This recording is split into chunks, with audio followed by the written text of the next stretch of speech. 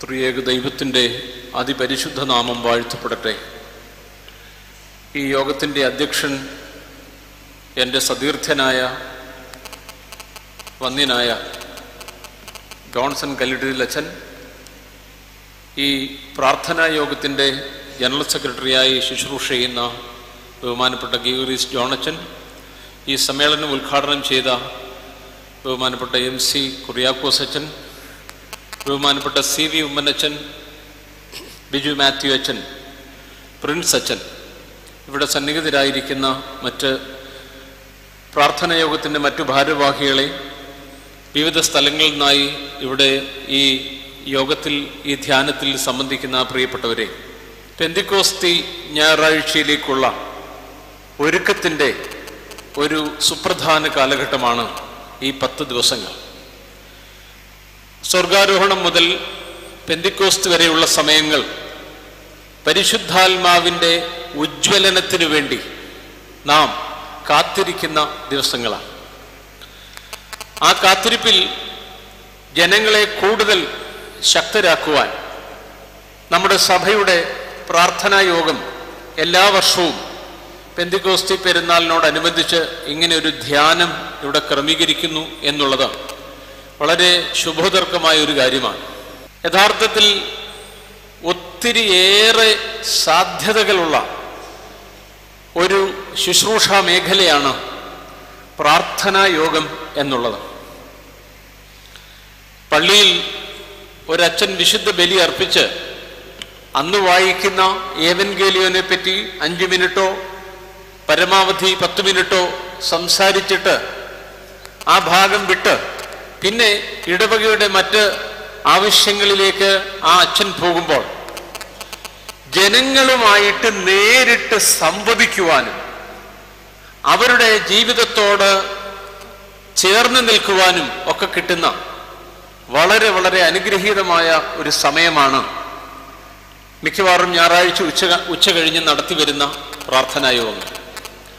അവിടെ കുറെ കൂടെ അനൗപചാരികമായ ചർച്ചകളും പഠനങ്ങളും ഒക്കെ നടത്തുവാനും ശുശ്രൂഷ അനുഷ്ഠിക്കുന്ന വൈദികനോട് ചില കാര്യങ്ങളെപ്പറ്റി നമുക്ക് സംസാരിക്കുവാനും ഒക്കെ കിട്ടുന്ന ഒരു നല്ല സമയമാണ്. എന്തുകൊണ്ടോ മലങ്കര ഓർത്തഡോക്സ് സഭയിൽ ആ ഒരു വേദി വേണ്ടവണ്ണം ഉപയോഗിക്കുന്നുണ്ടോ എന്നെനിക്ക് സംശയമുണ്ട്. നമ്മുടെ പ്രാർത്ഥനാ യോഗങ്ങൾ കുറെ കൂടെ ശക്തമായി നാം കൊണ്ട് മുന്നോട്ട് നടത്തുകയാണെങ്കിൽ നിശ്ചയമായിട്ടും ഈ സഭയിൽ ഒരു പുതിയ ഒരു തളിർപ്പുണ്ടാക്കുവാൻ പുതിയൊരു തുടിപ്പുണ്ടാക്കുവാൻ സാധിക്കും എന്നുള്ളതിന് യാതൊരു തർക്കവുമില്ല. ഞാൻ ശുശ്രൂഷിച്ച ഒരു പള്ളിയിൽ ഇരുപത്തിമൂന്നോളം പ്രാർത്ഥനയോഗങ്ങൾ ഉണ്ടായിരുന്നു അക്കാലത്ത്. അവിടെ എല്ലായിടത്തും ഞാൻ വിശുദ്ധ കുർബാനയെ പറ്റി തുടർച്ചയായി എടുത്ത ക്ലാസ്സുകൾ. ക്ലാസ്സുകൾ എന്ന് പറയുമ്പോൾ ഒരു പ്രസംഗമല്ല. ജനങ്ങൾക്കും ചോദിക്കാനും സംശയം തീർക്കാനും ഒക്കെ പറ്റുന്ന തരത്തിൽ ഒരു ഡയലോഗ് രൂപത്തിൽ നടത്തിയ ക്ലാസ്സുകളിലൂടെ. പിന്നീട് അനേകർ വന്ന് സാക്ഷിക്കുണ്ടായി വിശുദ്ധ കുർബാനയെ പറ്റി ഒരു ശരിയായ ഉൾബോധ്യം കൃത്യമായ ഒരു ദർശനം എന്താണ് വിശുദ്ധ ബലി എന്നതിനെ പറ്റി നിയതമായ ഒരു ബോധ്യം ഉണ്ടാക്കിയെടുക്കുവാൻ കഴിഞ്ഞു എന്നും.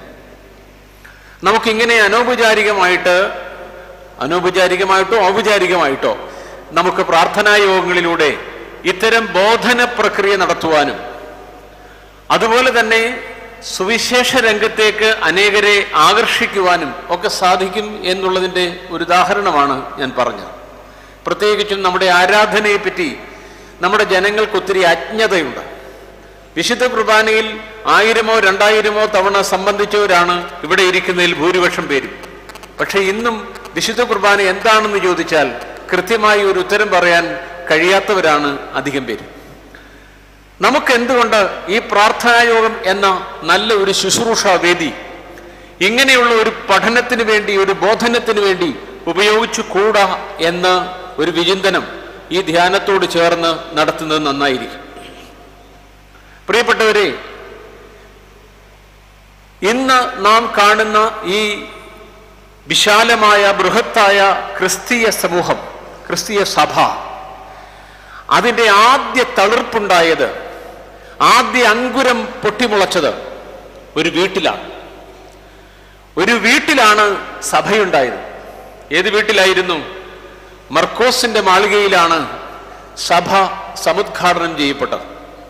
പെന്തിക്കോസ്തി നാളിൽ നൂറ്റി ഇരുപതിലധികം വരുന്ന ആളുകൾ മർക്കോസിന്റെ മാളികയിൽ വിശുദ്ധ മാതാവിന്റെ നേതൃത്വത്തിൽ കൂടിയിരുന്ന് പ്രാർത്ഥിച്ചപ്പോഴാണ് അവരിലേക്ക് പരിശുദ്ധാത്മാവ് കർത്താവിന്റെ വാഗ്ദാനപ്രകാരം ഇറങ്ങി ആവസിക്കുകയും അവരെ പൂർണമായിട്ടും രൂപാന്തരപ്പെടുത്തുകയും കേവലം മത്സ്യം പിടിച്ചു നടന്ന മുക്കുവനായ പത്രോസിനെ ഒരു വലിയ വാക്മിയാ വാഗ്മിയാക്കി മാറ്റുകയും ഒറ്റ പ്രസംഗം കൊണ്ട് മൂവായിരം പേരെ മാനസാന്തരപ്പെടുത്തുവാൻ തക്കവണ്ണം അദ്ദേഹം അദ്ദേഹത്തെ അത്രമാത്രം ശക്തനാക്കി മാറ്റുകയും ചെയ്തത്. അതുകൊണ്ട് സഭയുടെ ഉത്ഭവം ഒരു വീട്ടിലാണ്. സഭയുണ്ടായത് ഒരു ഭവനത്തിലാണ്. ഇന്ന് സഭകളെ പള്ളിയിൽ വെച്ചേക്കാനാണ് നമുക്കെല്ലാം ഇഷ്ടം. പള്ളിയിൽ വന്ന കാര്യങ്ങളൊക്കെ കണ്ടു കേട്ട് പോവുക വീട്ടിലേക്ക് സഭയെ കൊണ്ടുപോകാതെ ഇരിക്കുക എന്നുള്ള ഒരു തരത്തിലേക്ക് നാം നമ്മുടെ നമ്മുടെ വിശ്വാസ ജീവിതത്തെ മാറ്റിമറിച്ചിട്ടുണ്ട്. പ്രിയപ്പെട്ടവരെ അവസാനം പറയുന്ന എന്താണ്? വിശുദ്ധ കുർബാനയിൽ ഏറ്റവും അവസാനം ആശീർവദിക്കുന്ന എന്താണ്? നിങ്ങൾക്ക് ലഭിച്ചിരിക്കുന്ന അനുഗ്രഹങ്ങളോടും വഴിയാത്രയ്ക്കുള്ള ഭക്ഷണത്തോടും കൂടെ നിങ്ങൾ പോകുവീൻ. എങ്ങോട്ട് പോകാനാ? നിങ്ങളുടെ ഭവനങ്ങളിലേക്ക്. നിങ്ങൾ ജീവിക്കുന്ന വിശാലമായ ഈ ലോകത്തേക്ക് നിങ്ങൾ സമാധാനത്താലേ പോവുക. എന്തുകൊണ്ട് പോകാനാ പറയുന്നത്? നിങ്ങൾക്ക് ലഭിച്ചിരിക്കുന്ന അനുഗ്രഹങ്ങളോടും വരപ്രസാദത്തോടും ഈ വഴിയാത്രയ്ക്കുള്ള അനശ്വരമായ അക്ഷയമായ ഭക്ഷണത്തോടും കൂടെ നിങ്ങൾ പോകാനാ പറയുന്നു അതുകൊണ്ട് പള്ളിക്കുള്ളിൽ മാത്രം ദൈവത്തെ കണ്ടെത്തുന്ന രീതിയിൽ നിന്ന് പള്ളിയിൽ നിന്ന് നാം കണ്ടെത്തുന്ന ദൈവത്തിന്റെ ആ മനോജ്ഞമായ രൂപത്തെ ഭാവത്തെ നമ്മുടെ കുടുംബങ്ങളിലേക്ക് പറിച്ചു നടുവാനുള്ള ഒരു ആഹ്വാനമായി ഈ ഗാർഹിക സംവിധാനത്തെ കാണണം എന്നുകൂടെ ഞാൻ ഈ പെന്തിക്കോസി ഞായറാഴ്ചയോട് അനുബന്ധിച്ചുള്ള ഈ ധ്യാന പ്രസംഗത്തിൽ ഉത്ബോധിപ്പിക്കട്ടെ. നമ്മുടെ കുടുംബങ്ങൾ പള്ളികളായി മാറണം. ഇന്ന് പള്ളികൾ വലിയ എടുപ്പുകളായി വലിയ സൗധങ്ങളായി നമ്മൾ പണിയുന്നുണ്ട്. അത് നടക്കട്ടെ നല്ല കാര്യമാണ്. പക്ഷേ നമ്മുടെ വീടുകൾക്കുള്ളിൽ പള്ളി നിർമ്മിക്കുവാൻ നമുക്ക് കഴിയുന്നുണ്ടോ എന്നുള്ളത് നാം ഗൗരവമായി ചിന്തിക്കേണ്ട വിഷയമാണ്. ഒന്നാമത്തെ സഭയുടെ ഒന്നാമത്തെ ഉദ്ഘാടനം നടക്കുന്നത് ഒരു വീട്ടിലാണ്. അതുപോലെ നമ്മുടെ കുടുംബങ്ങൾ ഒരു പള്ളിയായി മാറുന്ന ദേവാലയമായി മാറുന്ന സഭയുടെ ശരിയായ ഒരു ബ്രാഞ്ചായി മാറുന്ന തരത്തിലേക്ക് നമ്മുടെ കുടുംബജീവിതം നമ്മുടെ ഭവനാങ്കണങ്ങൾ നമ്മുടെ ഗാർഹിക അന്തരീക്ഷം മാറണം എന്നുള്ള ഒരാഗ്രഹം ഈ പ്രാർത്ഥനാ യോഗത്തിന്റെ പശ്ചാത്തലത്തിൽ ഞാൻ അവതരിപ്പിക്കുകയാണ്. പ്രിയപ്പെട്ടവരെ നമ്മളെല്ലാവരും പരിശുദ്ധാത്മാവിന്റെ ഫലം നമ്മിൽ കൂടുതൽ വിളയുവാനും വിളങ്ങുവാനും ആഗ്രഹിച്ചുകൊണ്ട് പ്രാർത്ഥിച്ചിരിക്കുന്ന ഒരു സമയമാണിപ്പോൾ. ഒൻപത് തരം ഫലങ്ങളെപ്പറ്റി നാം വായിക്കുന്നുണ്ട്. ഗലാത്യ ലേഖനം അഞ്ചാം അധ്യായം ഇരുപത്തിരണ്ടാം വാക്യത്തിൽ പരിശുദ്ധാത്മാവിന്റെ ഫലം ഒന്നായിട്ടാണ് പറയുന്നത്. അതിന് ഒമ്പത് ഓഫ് ഷൂട്ട്സ് ആണുള്ളത്. ആ ഫലത്തിന് ഒൻപത് കാര്യങ്ങൾ ഉണ്ട്. സ്നേഹം സന്തോഷം സമാധാനം ദീർഘക്ഷമ ദയ പരോപകാരം വിശ്വസ്തത സൗമ്യത ഇന്ദ്രിയജയം എന്നീ ഒൻപത് കൂട്ടം കാര്യങ്ങൾ. ഞാൻ അതിനെപ്പറ്റി മുഴുവൻ ഒൻപതിനെയും പറ്റി പറയാനല്ല വരുന്നത്. അതിൽ ആദ്യത്തെ ആദ്യത്തെ ഒരു കാറ്റഗറിയിലുള്ളത് സ്നേഹം സന്തോഷം സമാധാനം എന്ന മൂന്ന് കാര്യങ്ങളാണ്. ഇത് മൂന്നും വറ്റി വരണ്ടുകൊണ്ടിരിക്കുന്ന ഒരു ലോകത്താണ് നാം ജീവിക്കുന്നത്. സ്നേഹമില്ലാത്ത സ്നേഹരാഹിത്യം അനുഭവിക്കുന്ന സ്നേഹത്തിന്റെ ഉറവുകൾ നഷ്ടപ്പെട്ടു പോകുന്ന ഒരു ലോകം. അതുകൊണ്ട് തന്നെ സ്നേഹമില്ലാത്തൊരു ലോകത്ത് സമാധാനം ഒരിക്കലും ഉണ്ടാവില്ല. സ്നേഹമില്ലാത്തൊരു ലോകത്ത് ഒരിക്കലും സന്തോഷമുണ്ടാവില്ല. സ്നേഹവും സന്തോഷവും സമാധാനവും നമുക്ക് നഷ്ടം വന്നുപോയ ഒരു പരിതാപകരമായ അവസ്ഥയിലാണ് ഇന്നത്തെ ലോകം. എന്തുകൊണ്ടാണ് ഇങ്ങനെ സംഭവിക്കുന്നത്? മനുഷ്യ മനസ്സുകളിൽ എന്തുകൊണ്ട് സമാധാനം ഇല്ലാതെയാവുന്നു? ഇന്ന് നമ്മുടെ പുണ്യസ്ഥലങ്ങളിലെല്ലാം പരുമല ഉൾപ്പെടെയുള്ള പുണ്യസ്ഥലങ്ങളിലെല്ലാം വലിയ ആൾക്കൂട്ടമുണ്ട്. അത് തീർത്ഥാടന കേന്ദ്രങ്ങളിലെല്ലാം തന്നെ ആൾക്കൂട്ടം കൂടിക്കൂടി വരുന്നു എന്നുള്ളത് നല്ല കാര്യമാണ്. ജനങ്ങൾ പ്രാർത്ഥിക്കാൻ കൂടുതൽ ഉദ്യുക്തരാകുന്നു കൂടുതൽ ഉത്സാഹം അവർക്കുണ്ടാവുന്നു അതൊക്കെ നല്ലതാണ്. പക്ഷേ ഈ പ്രാർത്ഥിക്കുവാനായി കൂടി വരുന്ന ജനത്തോട് അടുത്ത് ഒന്ന് ഇഴപെട്ട് ഒന്ന് ചോദിക്കുകയാണെങ്കിൽ എല്ലാവർക്കും പറയാനുള്ളത് സമാധാനമില്ലാത്ത മനസ്സാണ് എന്നെ ഈ പുണ്യസ്ഥലങ്ങളിലേക്ക് നയിക്കുന്നത് എന്നാണ്. ഏതെങ്കിലും തരത്തിൽ സമാധാനം നഷ്ടപ്പെട്ടു പോയ ആളുകളാണ് കൂടുതലായി മറ്റവരില്ലെന്ന് ഞാൻ പറയുന്നില്ല പക്ഷെ കൂടുതലായി ഈ പുണ്യസ്ഥലങ്ങളിലും തീർത്ഥാടന കേന്ദ്രങ്ങളിലും എത്തുന്നത് മനസ്സിൽ മരുഭൂമി സൃഷ്ടിക്കപ്പെട്ടവരാണ്. മനസ്സിനുള്ളിൽ സമാധാനം നഷ്ടപ്പെട്ടു പോയവരാണ്. എന്തുകൊണ്ട് നമുക്ക് ഈ സമാധാനം നഷ്ടപ്പെട്ടു പോകുന്നു? പരിശുദ്ധാത്മാവിന്റെ പ്രധാന ഫലങ്ങളായ സ്നേഹം സന്തോഷം സമാധാനം ഇതെന്തുകൊണ്ട് ഈ ലോകത്തിൽ നിന്ന് വളരെ വേഗം അന്യമായിക്കൊണ്ടിരിക്കുന്നു എന്ന ഒരു വീണ്ടു വിചാരം ഈ ധ്യാനത്തിലൂടെ നടത്തുവാനാണ് ഞാൻ യഥാർത്ഥത്തിൽ ആഗ്രഹിക്കുന്നത്. പ്രിയപ്പെട്ടവരെ ഇന്നത്തെ ലോകം നമുക്ക് ധാരാളം വിസ്മയങ്ങൾ പ്രദാനം ചെയ്യുന്ന ലോകമാണ്. എന്തൊക്കെ തരത്തിലുള്ള അത്ഭുതാവകമായ കാര്യങ്ങളാണ് ഓരോ ദിവസവും കണ്ടുപിടിക്കപ്പെട്ടുകൊണ്ടിരിക്കുന്നത്? എന്തൊക്കെ കാര്യങ്ങളാണ് നമ്മളെ ഓരോ ദിവസവും അത്ഭുത പരതന്ത്രരാക്കുന്ന ഓരോ ദിവസവും ഈ ലോകം ചടുലമായ മാറ്റങ്ങളിലാണ് ഈ മാറ്റങ്ങൾക്കിടയ്ക്ക് നമുക്ക് മാറാത്തവനായ ഒരുവനെ കൂട്ടുപിടിക്കുവാൻ കഴിയുന്നില്ല എന്നുള്ളത് അസമാധാനത്തിന്റെ ഏറ്റവും അടിസ്ഥാനപരമായ കാര്യമാണ്. മാറിക്കൊണ്ടിരിക്കുന്ന ചാഞ്ചാട്ടമുള്ള ഒരു ലോകത്ത് ചലിക്കാത്തവനായ മാറ്റമില്ലാത്തവനായ ശാന്തനായ ക്രിസ്തുവിനെ നമുക്ക് നമ്മുടെ സഹയാത്രികനായും നമ്മുടെ സഹചാരിയായും നമുക്ക് കൊണ്ടു നടക്കാൻ കഴിയുന്നില്ല എന്നുള്ളതാണ് സങ്കടകരമായ ഒരു കാര്യം.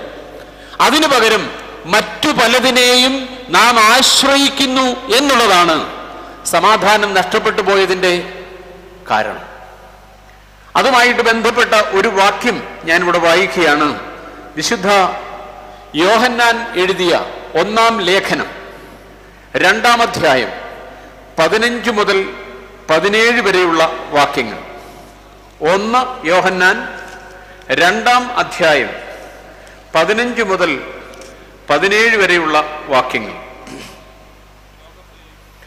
ലോകത്തെയും ലോകത്തിലുള്ളതിനെയും സ്നേഹിക്കരുത്. ഒരുവൻ ലോകത്തെ സ്നേഹിക്കുന്നു എങ്കിൽ അവനിൽ പിതാവിന്റെ സ്നേഹം ഇല്ല. ജഡമോഹം കൺമോഹം ജീവനത്തിന്റെ പ്രതാപം ഇങ്ങനെ ലോകത്തിലുള്ളതെല്ലാം പിതാവിൽ നിന്നല്ല ലോകത്തിൽ നിന്ന് അത്രേ ആകുന്നു. ലോകവും അതിന്റെ മോഹവും ഒഴിഞ്ഞു പോകും. ദൈവേഷ്ടം ചെയ്യുന്നവനോ എന്നേക്കും ഇരിക്കുന്നു. ഞാൻ ഈ ധ്യാനം ആരംഭിച്ചപ്പോൾ തന്നെ പറഞ്ഞത് സ്നേഹം വറ്റി വരണ്ട ഒരു ലോകത്തെ പറ്റിയാണ്. സ്നേഹരാഹിത്യം അനുഭവിക്കുന്ന സമാധാനം ഭഞ്ഞിക്കപ്പെടുന്ന ഒരു ലോകത്തെ പറ്റിയാണ് ഞാൻ പറഞ്ഞത്. ഇവിടെ ദൈവത്തെ തന്റെ സന്തത സഹചാരിയായിട്ടും ദൈവത്തെ ജീവിതത്തിന്റെ നെടുന്തൂണായും നടുന്തൂണായും വെക്കാതെ പോകുന്നതിന്റെയും ഒരു ഗതികേടാണ് ഈ ലോകം അനുഭവിക്കുന്നത്. അതിന്റെ കാരണമായിട്ട് പറയുന്നത് ദൈവത്തെ സ്നേഹിക്കുന്നതിന് പകരം നാം സ്നേഹിക്കുന്നത് ഈ ലോകത്തെ ആണ് എന്നുള്ളതാണ്. ലോകത്തെയും ലോകത്തിലുള്ളതിനെയും സ്നേഹിക്കരുത്. ഒരുവൻ ലോകത്തെ സ്നേഹിക്കുന്നുവെങ്കിൽ അവനിൽ പിതാവിന്റെ സ്നേഹം ഇല്ല. പ്രിയപ്പെട്ടവരെ വിശുദ്ധ യോഹന്നാന്റെതായിട്ട് വിശുദ്ധ ബൈബിളിൽ അഞ്ച് പുസ്തകങ്ങളുണ്ട്.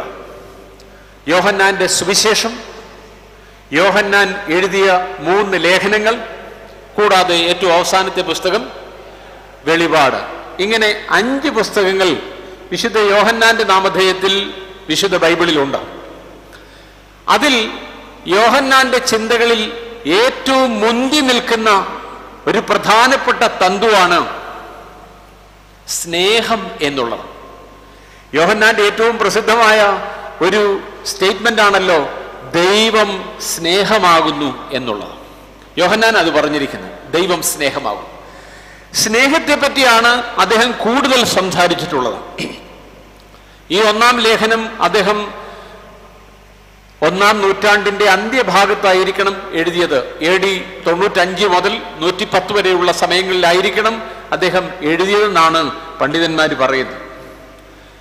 അന്ന് യേശുക്രിസ്തുവിനെ പറ്റി ഒരു പ്രത്യേക വേദവിരീതം പഠിപ്പിച്ചു തുടങ്ങിയ കാലത്താണ് അദ്ദേഹം ഈ ലേഖനം എഴുതിയത്.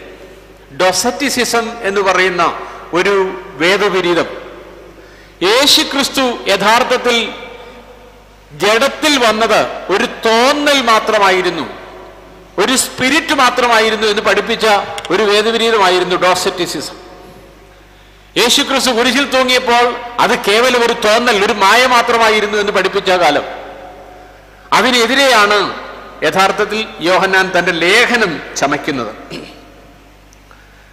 ദൈവത്തോടുള്ള സ്നേഹം അല്ലെങ്കിൽ ദൈവത്തോടുള്ള കൂട്ടായ്മ സാത്താന്റെ ആധിപത്യത്തിലുള്ള ലോകം അതിൽ നിന്ന് രക്ഷപ്പെടേണ്ട വിധം ദൈവത്താൽ വേർതിരിക്കപ്പെട്ട ലോകത്തിൽ നിന്ന് മാറ്റി നിർത്തപ്പെടേട്ട മാറ്റി നിർത്തപ്പെട്ട വിശ്വാസി സമൂഹം.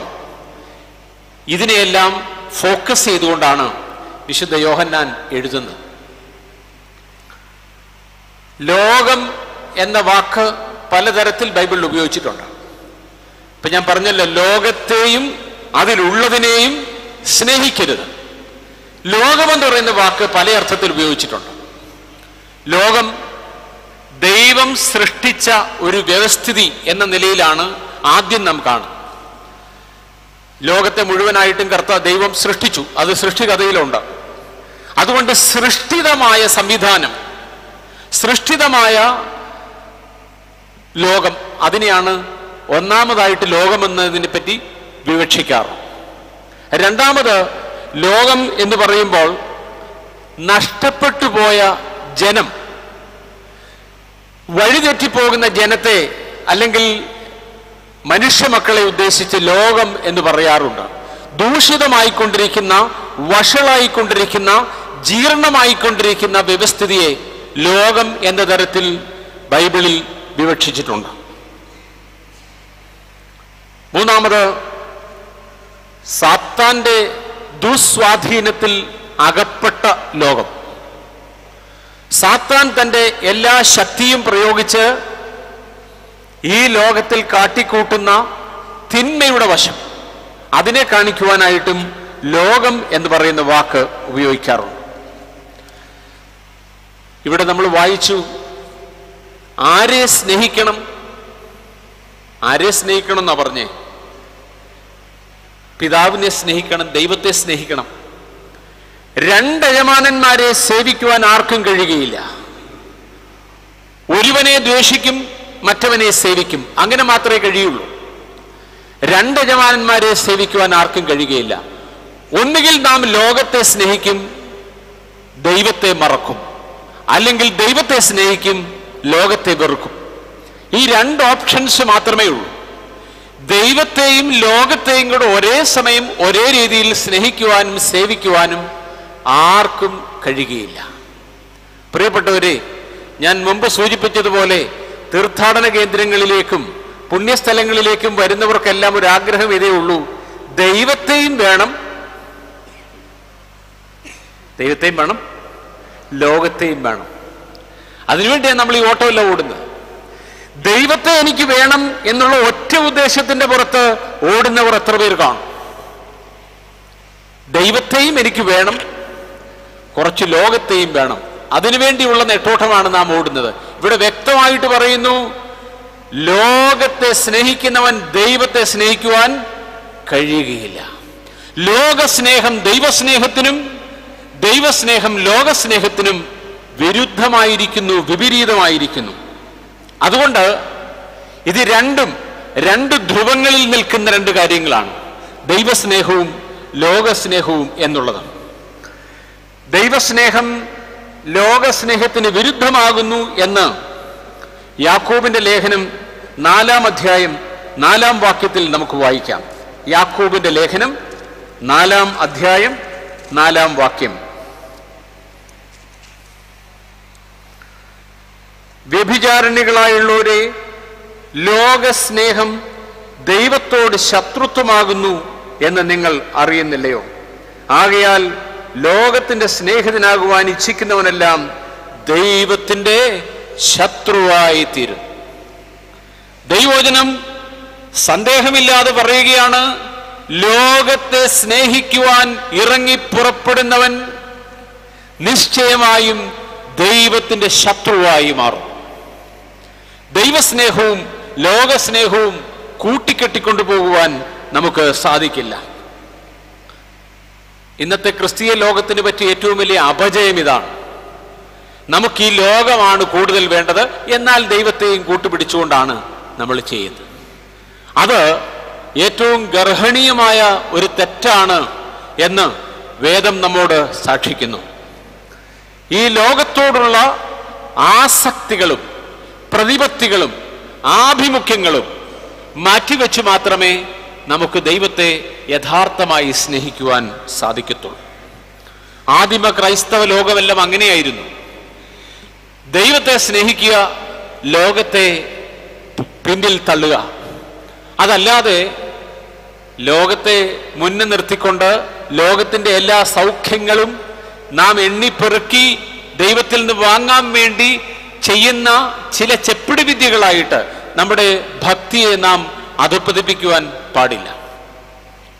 പ്രിയപ്പെട്ടവരെ ഈ കഴിഞ്ഞ രണ്ടു മാസം മുമ്പ് മരിച്ചുപോയ ബില്ലി ഗ്രഹാം എന്ന ലോകപ്രസിദ്ധ സുവിശേഷകൻ അദ്ദേഹത്തിന്റെ ഒരു പുസ്തകത്തിൽ എഴുതിയിരിക്കുന്ന ഇങ്ങനെയാണ് നമ്മുടെ മുഴുവൻ ശ്രദ്ധയും ഇഷ്ടവും നമ്മിൽ തന്നെയാണ്. ഭൗതിക വസ്തുക്കളോടാണ് നമ്മുടെ ആസക്തി മുഴുവൻ. നമ്മുടെ ഇഷ്ടദൈവം ടെക്നോളജിയാണ്. നമ്മുടെ ഇഷ്ടദൈവം ടെക്നോളജിയാണ്. നമ്മുടെ ഇഷ്ടദേവത സെക്സാണ്. സ്വർഗത്തിൽ പോകുന്നതിനേക്കാൾ നമുക്കിഷ്ടം ചന്ദ്രനിൽ പോകാനാണ്.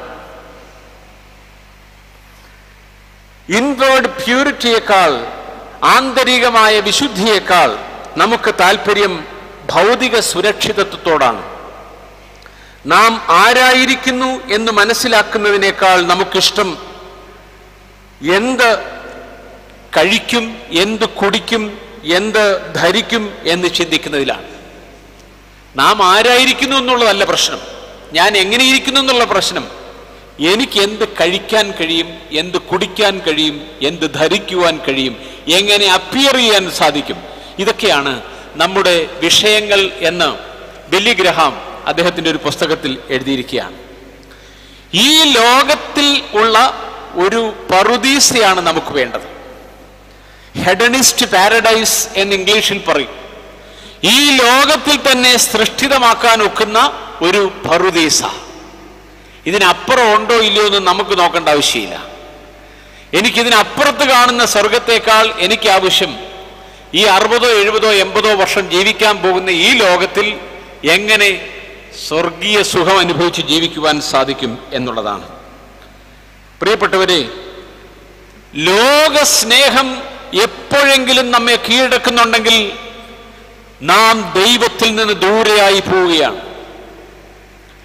തിമോത്യോസിന് എഴുതിയ ഒന്നാം ലേഖനം നാലാം അധ്യായം പത്താം വാക്യത്തിൽ വിശുദ്ധനായ പൗലുസ്ലിഹ ദൈവസ്നേഹത്തിൽ നിന്ന് ദൂരെയാകുന്ന ഒരു പൈതലിന്റെ കഥ പറയുന്നു.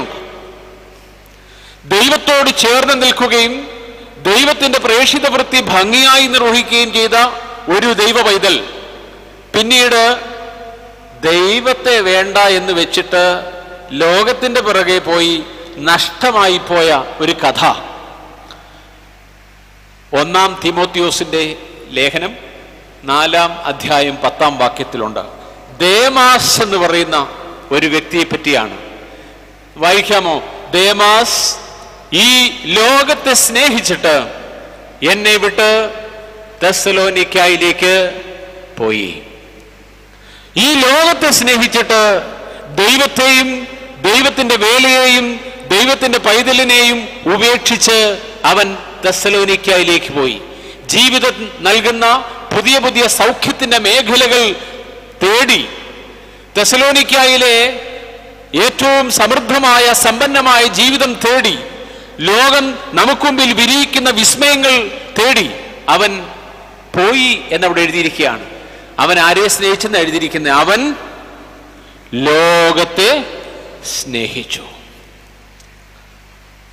ഈ ദേമാസ് എന്ന് പറയുന്ന ആളിന് ഇങ്ങനൊരു അസുഖം ഉണ്ടായി. ഇത്രയും നാളും അവൻ ദൈവത്തോടായിരുന്നു അനുരാഗം. ദൈവത്തോടൊരു പ്രണയമുണ്ടായിരുന്നു. ദൈവത്തിന്റെ രാജ്യത്തിന് വേണ്ടി അവനൊരു തീഷ്ണതയുണ്ടായിരുന്നു. അവൻ ശക്തനായ ദൈവപൈതലായിരുന്നു. എന്നാൽ അവനിൽ ഒരു രോഗം ബാധിച്ചു.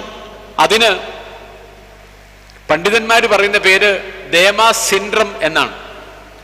മൂന്ന് ലക്ഷണങ്ങളുണ്ട് മൂന്ന് സിംറ്റംസ് ഉണ്ട് ഈ അസുഖത്തിന്.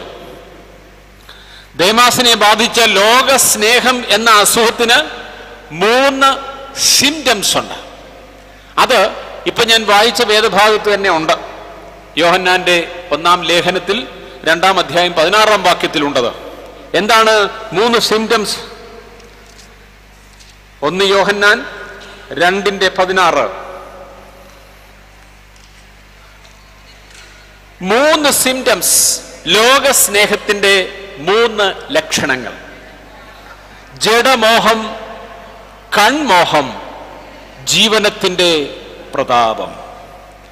ഈ ലക്ഷണങ്ങളെപ്പറ്റി പറയുമ്പോൾ നിങ്ങളാരും എന്നെ പഴിക്കരുത്. ഞാൻ നിങ്ങൾക്ക് ഇഷ്ടപ്പെടാത്ത ചില കാര്യങ്ങളൊക്കെ ഇവിടെ വിളിച്ചു പറയും. നിങ്ങളെ ആരെയും രസിപ്പിക്കാൻ വേണ്ടിയല്ല ഞാൻ ഈ പ്രാർത്ഥനയോഗത്തിന്റെ മീറ്റിംഗിലേക്ക് വന്നത്. നിങ്ങളെ ഇന്ന് നോവിച്ചിട്ട് പോകാനാണ് ഞാൻ വന്നത്. നിങ്ങളൊക്കെ ഇപ്പോൾ അനുഭവിക്കുന്ന ചില സുഖങ്ങൾ നഷ്ടപ്പെടുത്തണം എന്ന് പറയാനാണ് ഞാൻ വന്നത്. നിങ്ങളൊക്കെ ഇപ്പോൾ അനുഭവവേദ്യമാക്കിക്കൊണ്ടിരിക്കുന്ന ലോകത്തിന്റെതായ ചില സൗഖ്യങ്ങൾ ഇല്ലാതെയാകണമെന്ന് പറയാനാണ് ഞാൻ വന്നത്. അതുകൊണ്ട് മൂന്ന് കാര്യങ്ങൾ നമ്മുടെ രോഗലക്ഷണങ്ങളായി പറയുന്നു. ലോക സ്നേഹത്തിന്റെ മൂന്ന് സിംറ്റംസ് എന്താണ്? ജഡമോഹം ഒന്നാമത്തത്. കാർണാലിറ്റി എന്ന് പറയും.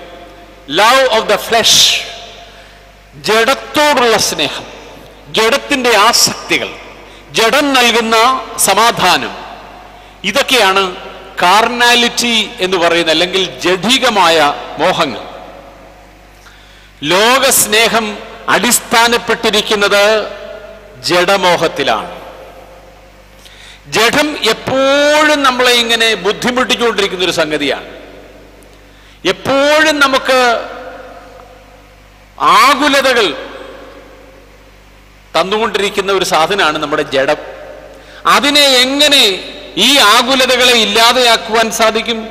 ജഡത്തിന്റെ നിർബന്ധങ്ങളെ എങ്ങനെ ഇല്ലാതെയാക്കുവാൻ സാധിക്കും എന്ന് ചിന്തിച്ചു വശാവുന്നവരാണ് നമ്മളെല്ലാവരും. ആദ്യ അമ്മച്ചിയുടെ അടുത്തും ചെന്ന് ഇത് തന്നെയാണ് ചെയ്തത്. എന്താണ്? ഒന്നാമത്തെ അമ്മച്ചിക്ക്. ഏതൻ തോട്ടത്തിൽ ഹൗവ അമ്മച്ചിയുടെ അടുത്ത് ചെന്ന് കഴിക്കാനില്ലാഞ്ഞോ കുടിക്കാൻ ഇല്ലാഞ്ഞായിരുന്നോ ഏതെങ്കിലും തോട്ടത്തിൽ എന്തെങ്കിലും കുറവുണ്ടായിരുന്നോ? ഈ തോട്ടത്തിൽ നിൽക്കുന്ന എല്ലാ ഫലങ്ങളും നിനക്ക് കഴിക്കാം. ഇഷ്ടം പോലെ കഴിക്കാനുണ്ട്. എന്നാലും കഴിക്കാത്തൊരു സാധനം ഒന്ന് കഴിക്കാൻ ഒരു സന്തോഷം. ഇന്ന് വരെ കഴിക്കാത്ത ഒരു പുതിയ സാധനം കഴിക്കാൻ വേണ്ടിയുള്ള ഒരു ആസക്തി അതിനുവേണ്ടിയുള്ള ഒരു ആഗ്രഹം അതാണ് അമ്മച്ചിയെ തെറ്റിച്ചത്. ഈ തീറ്റിപ്രിയം എന്ന് പറയുന്നത് ഒരു വലിയ പ്രശ്നമാണ്. കഴിഞ്ഞ ആഴ്ചയിൽ നമ്മുടെ തിരുവനന്തപുരം റീജിയണൽ ക്യാൻസർ സെന്ററിന്റെ റിസർച്ച് വിങ് ഇറക്കിയ ഒരു കുറിപ്പിൽ ഇങ്ങനെ പറയുന്നു നമ്മുടെ കേരളത്തിൽ ക്യാൻസർ വളരെയധികം വർദ്ധിച്ചു വരുന്നു. ഒരു കുടുംബത്തിൽ ഒരാൾക്കെങ്കിലും ക്യാൻസർ ഉണ്ടാവുന്നു എന്ന തരത്തിലേക്ക് ക്യാൻസറിന്റെ ഇൻസിഡൻസ് വർദ്ധിച്ചുകൊണ്ടിരിക്കുകയാണ്. അതിന്റെ കാരണമായിട്ട് ഇവർ പറയുന്നത് അടുത്ത കാലത്തായി നമ്മുടെ ഇടയിൽ വന്ന ആഹാരക്രമങ്ങളിലെ വ്യത്യാസമാണ്. നമ്മളൊക്കെ നമ്മുടെ നാട്ടിൽ വളരുന്ന നല്ല മണ്ണിൽ നിന്ന് ഉൽപ്പാദിപ്പിക്കുന്ന വിഷരഹിതമായ പച്ചക്കറികളും ധാന്യവർഗങ്ങളും ഉപയോഗിച്ച് നമ്മുടെ ഭക്ഷണം ഉണ്ടാക്കിക്കൊണ്ടിരുന്നിടത്ത് നാം ഇന്ന് എന്താണ് ചെയ്യുന്നത്? നാൽപ്പത് ദിവസം കൊണ്ട് മുറ്റി വളരുന്ന കോഴിയെ പിടിച്ച് തിന്നാനാണ് നമുക്ക് ആഗ്രഹം ഇന്ന് ചിക്കൻ ഇല്ലെങ്കിൽ ആർക്കും ഒന്നും ഇറങ്ങുകയില്ല താഴോട്ട്. ചിക്കൻ തിന്ന് തിന്ന് കമന്ന് കിടന്ന് തിന്നുകയാണിപ്പോ ചിലയിടത്തൊക്കെ ചെന്നാൽ എന്തൊരു തീറ്റിയാണ്. ഞാൻ ഓർക്കുകയായിരുന്നു ഈ തീറ്റിപ്രിയം എന്ത് തുടങ്ങിയോ? അന്ന് മുതൽ നമുക്ക് നമ്മുടെ സമൂഹം വിഷലിപ്തമായി നമ്മുടെ ജീവി നമ്മുടെ ജീവിതങ്ങൾ ദുരിതമയമായി. ഈ തിന്നാനുള്ള ആഗ്രഹം ജഡത്തിന്റെ ആഗ്രഹമാണ്. തിന്നുക കുടിക്കുക ആനന്ദിക്കുക. എപ്പിക്യൂറസ് എന്ന് പറയുന്ന വലിയ ചിന്തകൻ പഠിപ്പിച്ച ഒരു പ്രധാനപ്പെട്ട സംഗതി നിനക്കിവിടെ ഉള്ളു ആയുസ്. ഇത് കഴിഞ്ഞാൽ പിന്നെ തിന്നാൻ പറ്റില്ല. ഇത് കഴിഞ്ഞാൽ പിന്നെ നിനക്ക് കുടിക്കാൻ പറ്റില്ല. ഇത് കഴിഞ്ഞാൽ പിന്നെ നിനക്ക് ആനന്ദിക്കാൻ പറ്റില്ല. അതുകൊണ്ട് എന്ത് ചെയ്തോണം? ഇപ്പൊ തിന്നാവുന്നതിന്റെ മാക്സിമം തിന്നോണം. വയറ് നിറച്ച് കൊള്ളിക്കാവുന്നതിന്റെ അത്രയും കൊള്ളിച്ചോണം. അങ്ങനെ തിന്നോണം. തിന്ന് കുടിച്ച് മതിച്ച് രസിച്ച് ആനന്ദിച്ച് ആഹ്ലാദിച്ച് നീ ജീവിച്ചോണം. പ്രിയപ്പെട്ടവരെ ജഡമോഹം നമ്മെ വല്ലാതെ ബുദ്ധിമുട്ടിക്കുന്ന ഒരു കാലമാണിത്. ജഡത്തിന്റെതായ നിർബന്ധങ്ങൾ അമ്മച്ചിക്ക് എന്ന് പറയാമായിരുന്നു ഇവിടെ ഇഷ്ടം പോലെ കഴിക്കാനുണ്ടല്ലോ എനിക്ക് ഈ പഴം വേണ്ട എന്ന. കർത്താവിന്റെ അടുത്തും ചെന്ന് പറഞ്ഞു നീ നാൽപ്പത് ദിവസം ഉപവസിച്ചല്ലോ ഇപ്പോ. നല്ല ഉപവാസമായിരുന്നു കേട്ടോ. ഇനി നീ വല്ലതും കഴിക്കണം. സാത്താൻ പറഞ്ഞതിനകത്ത് വല്ല തെറ്റുണ്ടോ നാൽപ്പത് ദിവസത്തിന് മുമ്പ് എന്ന് സാത്താൻ ഇത് പറഞ്ഞിരുന്നെങ്കിൽ തെറ്റാന്ന് പറയാമായിരുന്നു. ഇല്ലേ? നോയമ്പ് മുറിക്കാനായിട്ട് സാത്താൻ കയറി വന്നെന്ന് പറയാമായിരുന്നു. ഉപവാസം തെറ്റിക്കാൻ വേണ്ടി സാത്താൻ പരീക്ഷിച്ചെന്ന് പറയാമായിരുന്നു. ഇതൊന്നുമില്ലല്ലോ നാൽപ്പത് ദിവസവും ഉപവസിക്കാനായിട്ട് സാത്താൻ തടസ്സമൊന്നും പറഞ്ഞില്ല. ഈ നാൽപ്പത് ദിവസത്തെ ഉപവാസം അഭങ്കുരം നിർവഹിച്ച ശേഷമാണ് സാത്താൻ ചെന്ന് വളരെ മധുരമായിട്ട് കർത്താവിനോട് പറയുന്നത് ഇനിയും വല്ലതും നീ കഴിക്കണം. തെറ്റുണ്ടോ? തെറ്റുണ്ടോ? നിനക്ക് ലഭിച്ചിരിക്കുന്ന നാൽപ്പത് ദിവസത്തെ ഉപവാസത്തിലൂടെ നിനക്ക് ലഭിച്ചിരിക്കുന്ന ഈ തപശ്ചര്യയിലൂടെ നിനക്ക് നിനക്ക് സംലഭ്യമായിരിക്കുന്ന ഈ വലിയ അനുഗ്രഹം കൊണ്ട് നീ എന്ത് ചെയ്യണം? മരുഭൂമിയിൽ അപ്പം കിട്ടത്തില്ല അതുകൊണ്ട് നീ എന്ത് ചെയ്യണം? മുമ്പിൽ കിടക്കുന്ന കല്ലിനോട് പറയണം അപ്പമായിക്കൊള്ളാൻ പ്രിയപ്പെട്ടവരെ ഇങ്ങനെ അപ്പമുണ്ടാക്കുന്ന പരിപാടി കർത്താവ് അന്ന് നിർത്തിവെച്ചതാണ്. എനിക്കിത് വേണ്ട. നാൽപ്പത് ദിവസം ഉപസിച്ചാലും ഇനി അത് കഴിഞ്ഞൊരു നാൽപ്പത് ദിവസിച്ചാലും കല്ലിനെ അപ്പമാക്കിക്കൊണ്ടുള്ള ഭക്ഷണം എനിക്ക് വേണ്ട. ഞാൻ ചിലപ്പോൾ ഓർക്കും നമ്മുടെ ഈ പള്ളികളിലൊക്കെ ഇപ്പൊ തീറ്റി എന്തുമാത്രമാണ് എല്ലാ ദിവസവും അങ്ങ് അപ്പമാണ്. ഇപ്പൊ ബാബാതിരുമയുടെ ഒരു പുതിയ കൽപ്പന കഴിഞ്ഞ രണ്ട് മൂന്ന് ആഴ്ച മുമ്പ് ഇറങ്ങി. അതിനകത്ത് എഴുതിയിട്ടുണ്ട് ഒരു പള്ളിയിൽ ഒരു പെരുന്നാൾ മതി. ആണ്ടിൽ ഒരു പെരുന്നാൾ മതി. ബാക്കിയൊക്കെ ധൂപം വെച്ച് പരിശുദ്ധനെ ഓർക്കാനാണെങ്കിൽ ധൂപം വെച്ച് തീർത്താൽ മതി എന്ന് ബാബാതിരുമേനി കൽപ്പിച്ച് ഒരു കൽപ്പന കണ്ടു.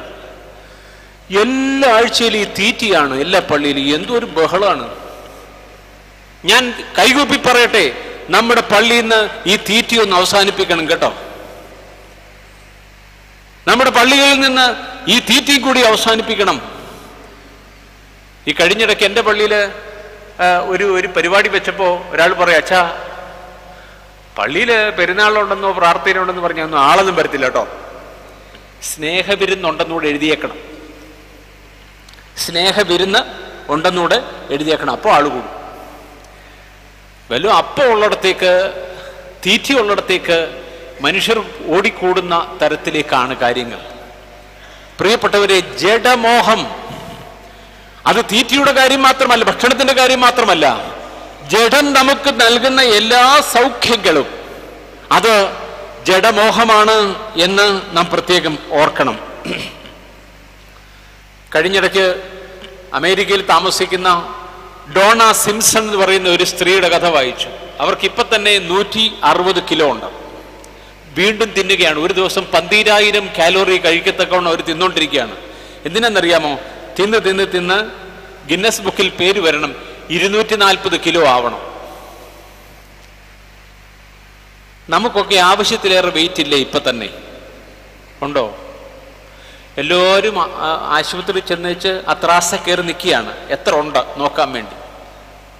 ഇല്ലേ? പണ്ടൊക്കെ ജനങ്ങൾക്ക് പട്ടിണിയായിരുന്നപ്പോൾ ആവശ്യത്തിന് വെയിറ്റ് ഇല്ലായിരുന്നു. അണ്ടർ വെയിറ്റ് ആയിരുന്നു പലരും. അന്ന് സമൃദ്ധമായ ആഹാരം ഉണ്ടായിരുന്നില്ല. അന്ന് പോഷകസമ്പന്നമായ ആഹാരം നമുക്കുണ്ടായിരുന്നില്ല. അതുകൊണ്ട് പലരും ആവശ്യത്തിന് തൂക്കമില്ലാത്തവരായിരുന്നു. ഇന്ന് ആവശ്യത്തിലേറെ തൂക്കമാണ്. എല്ലാവരും രാവിലെ എഴുന്നേറ്റ് കണ്ടമാനം ഓടുകയാണ്. ഒരു കൂട്ടർ രാവിലെ ഓടുന്നത് വയറ്റിപ്പഴുപ്പിന് വേണ്ടിയാണ് കുറെ പേര് ഓടുന്നത് വയറ് കുറയ്ക്കാൻ വേണ്ടിയാണ് ചിലർ വയറ്റിലേക്ക് എന്തെങ്കിലും ഇടാൻ വേണ്ടി ഓടുമ്പോൾ വേറെ ചിലർ ഓടുന്നത് വയറെങ്ങനെ കുറയ്ക്കണം എന്ന് ചിന്തിച്ചുകൊണ്ടാണ്. പ്രിയപ്പെട്ടവരെ ഈ ആഹാരത്തിന്റെ നിയന്ത്രണം ഒരു പ്രധാനപ്പെട്ട കാര്യമാണ്. ആഹാരത്തോടൊപ്പം വരുന്നതാണ് മദ്യം മയക്കുമരുന്ന്. ഈ ജഡൻ നൽകുന്ന സൗഖ്യങ്ങളെല്ലാം. ഇത് നാം എങ്ങനെ കൈകാര്യം ചെയ്യുന്നു എന്നുള്ളത് പ്രധാനപ്പെട്ട ഒരു കാര്യം. ആഹാരമില്ലാതെ ജീവിക്കാൻ പറ്റില്ല. നമുക്ക് ഈ കാര്യത്തിൽ ഒരു മോഡറേറ്റ് സമീപനം എടുക്കാൻ സാധിക്കുമോ? നിങ്ങളുടെ കുട്ടികൾക്ക് ചോദിക്കുന്നതെല്ലാം കൊടുക്കരുത്. ചോദിക്കുന്ന ആഹാരം അവന് ഇഷ്ടമുള്ളത് മാത്രമേ തിന്നാൻ പറ്റുള്ളൂ എന്ന് പറയരുത്. ഇഷ്ടമല്ലാത്തതും ഇടയ്ക്കിടയ്ക്ക് കഴിക്കണം. ചില വീടുകളിൽ ചില സാധനങ്ങൾ മക്കളുടെ ഇഷ്ടമനുസരിച്ച് മാത്രമാണ് ചെയ്യുന്നത്. എല്ലാ കാര്യങ്ങളും. ഒരു വീട്ടിലെ മുഴുവൻ കാര്യങ്ങളും നിയന്ത്രിക്കുന്ന അവിടുത്തെ ഒരു കൊച്ചുകുട്ടിയാണ്. അവിടെ എന്ത് കഴിക്കണം?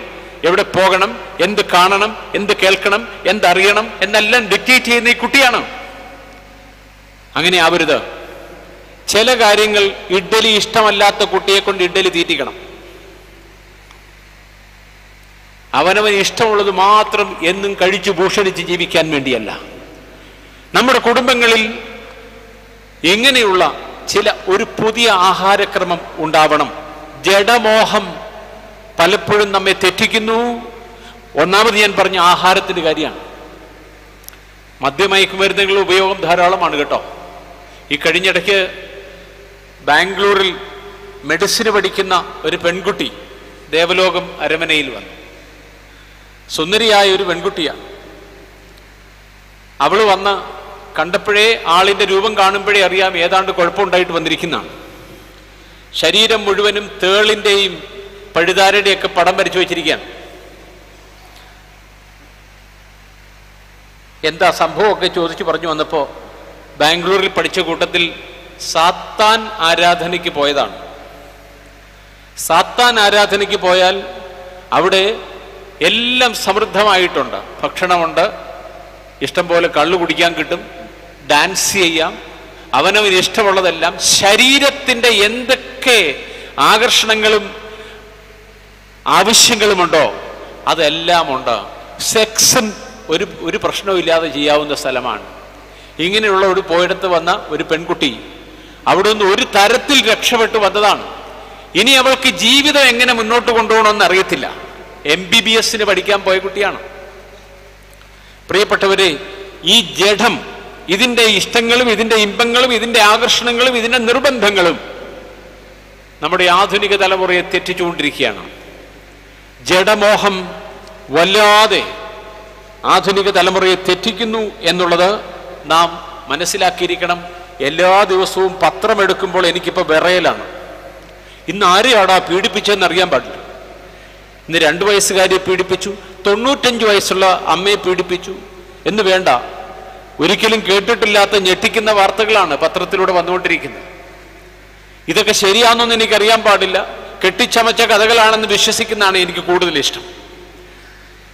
ഈ ലോകത്തിന്റെ ശരീരത്തിന്റെ ഇതായ നിർബന്ധങ്ങളും ശരീരത്തിന്റെ ആസക്തികളും മൂലം ഇന്ന് അമ്മ പെങ്ങന്മാരെ പോലും തിരിച്ചറിയാൻ മേലാത്ത രീതിയിൽ കാര്യങ്ങൾ അതപ്പതിച്ചിരിക്കുന്നു.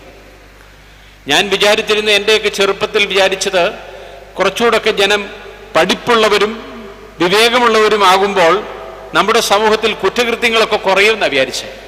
അങ്ങനെ അല്ല.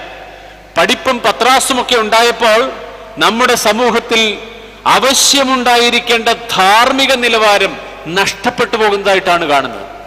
അതിന്റെ കാരണം നാം കൂടുതൽ ഇമ്പോർട്ടൻസ് കൊടുക്കുന്നത് നമ്മുടെ ജഡ ആസക്തികൾക്കാണ് എന്നുള്ളതാണ്. കഴിഞ്ഞ സെപ്റ്റംബർ മാസം പത്താം തീയതി എല്ലാ വർഷവും സെപ്റ്റംബർ പത്തെന്ന് പറയുന്നത് ആത്മഹത്യ പ്രതിരോധ ദിനമാണ്. ആത്മഹത്യകളെ പ്രതിരോധിക്കാൻ വേണ്ടി അവരെ ജനങ്ങളെ ബോധവൽക്കരിക്കുന്ന ദിവസമാണ് സെപ്റ്റംബർ പത്ത്. അപ്പോൾ എനിക്ക് സഭയുടെ ഈ മാനവ ശാക്തീകരണ വിഭാഗത്തിന്റെ ചുമതലയുള്ളതുകൊണ്ട് കഴിഞ്ഞ വർഷം ഈ ആത്മഹത്യാ പ്രതിരോധത്തിന് വേണ്ടി ഒരു വലിയ പരിപാടി കോട്ടയത്ത് സംഘടിപ്പിച്ചു.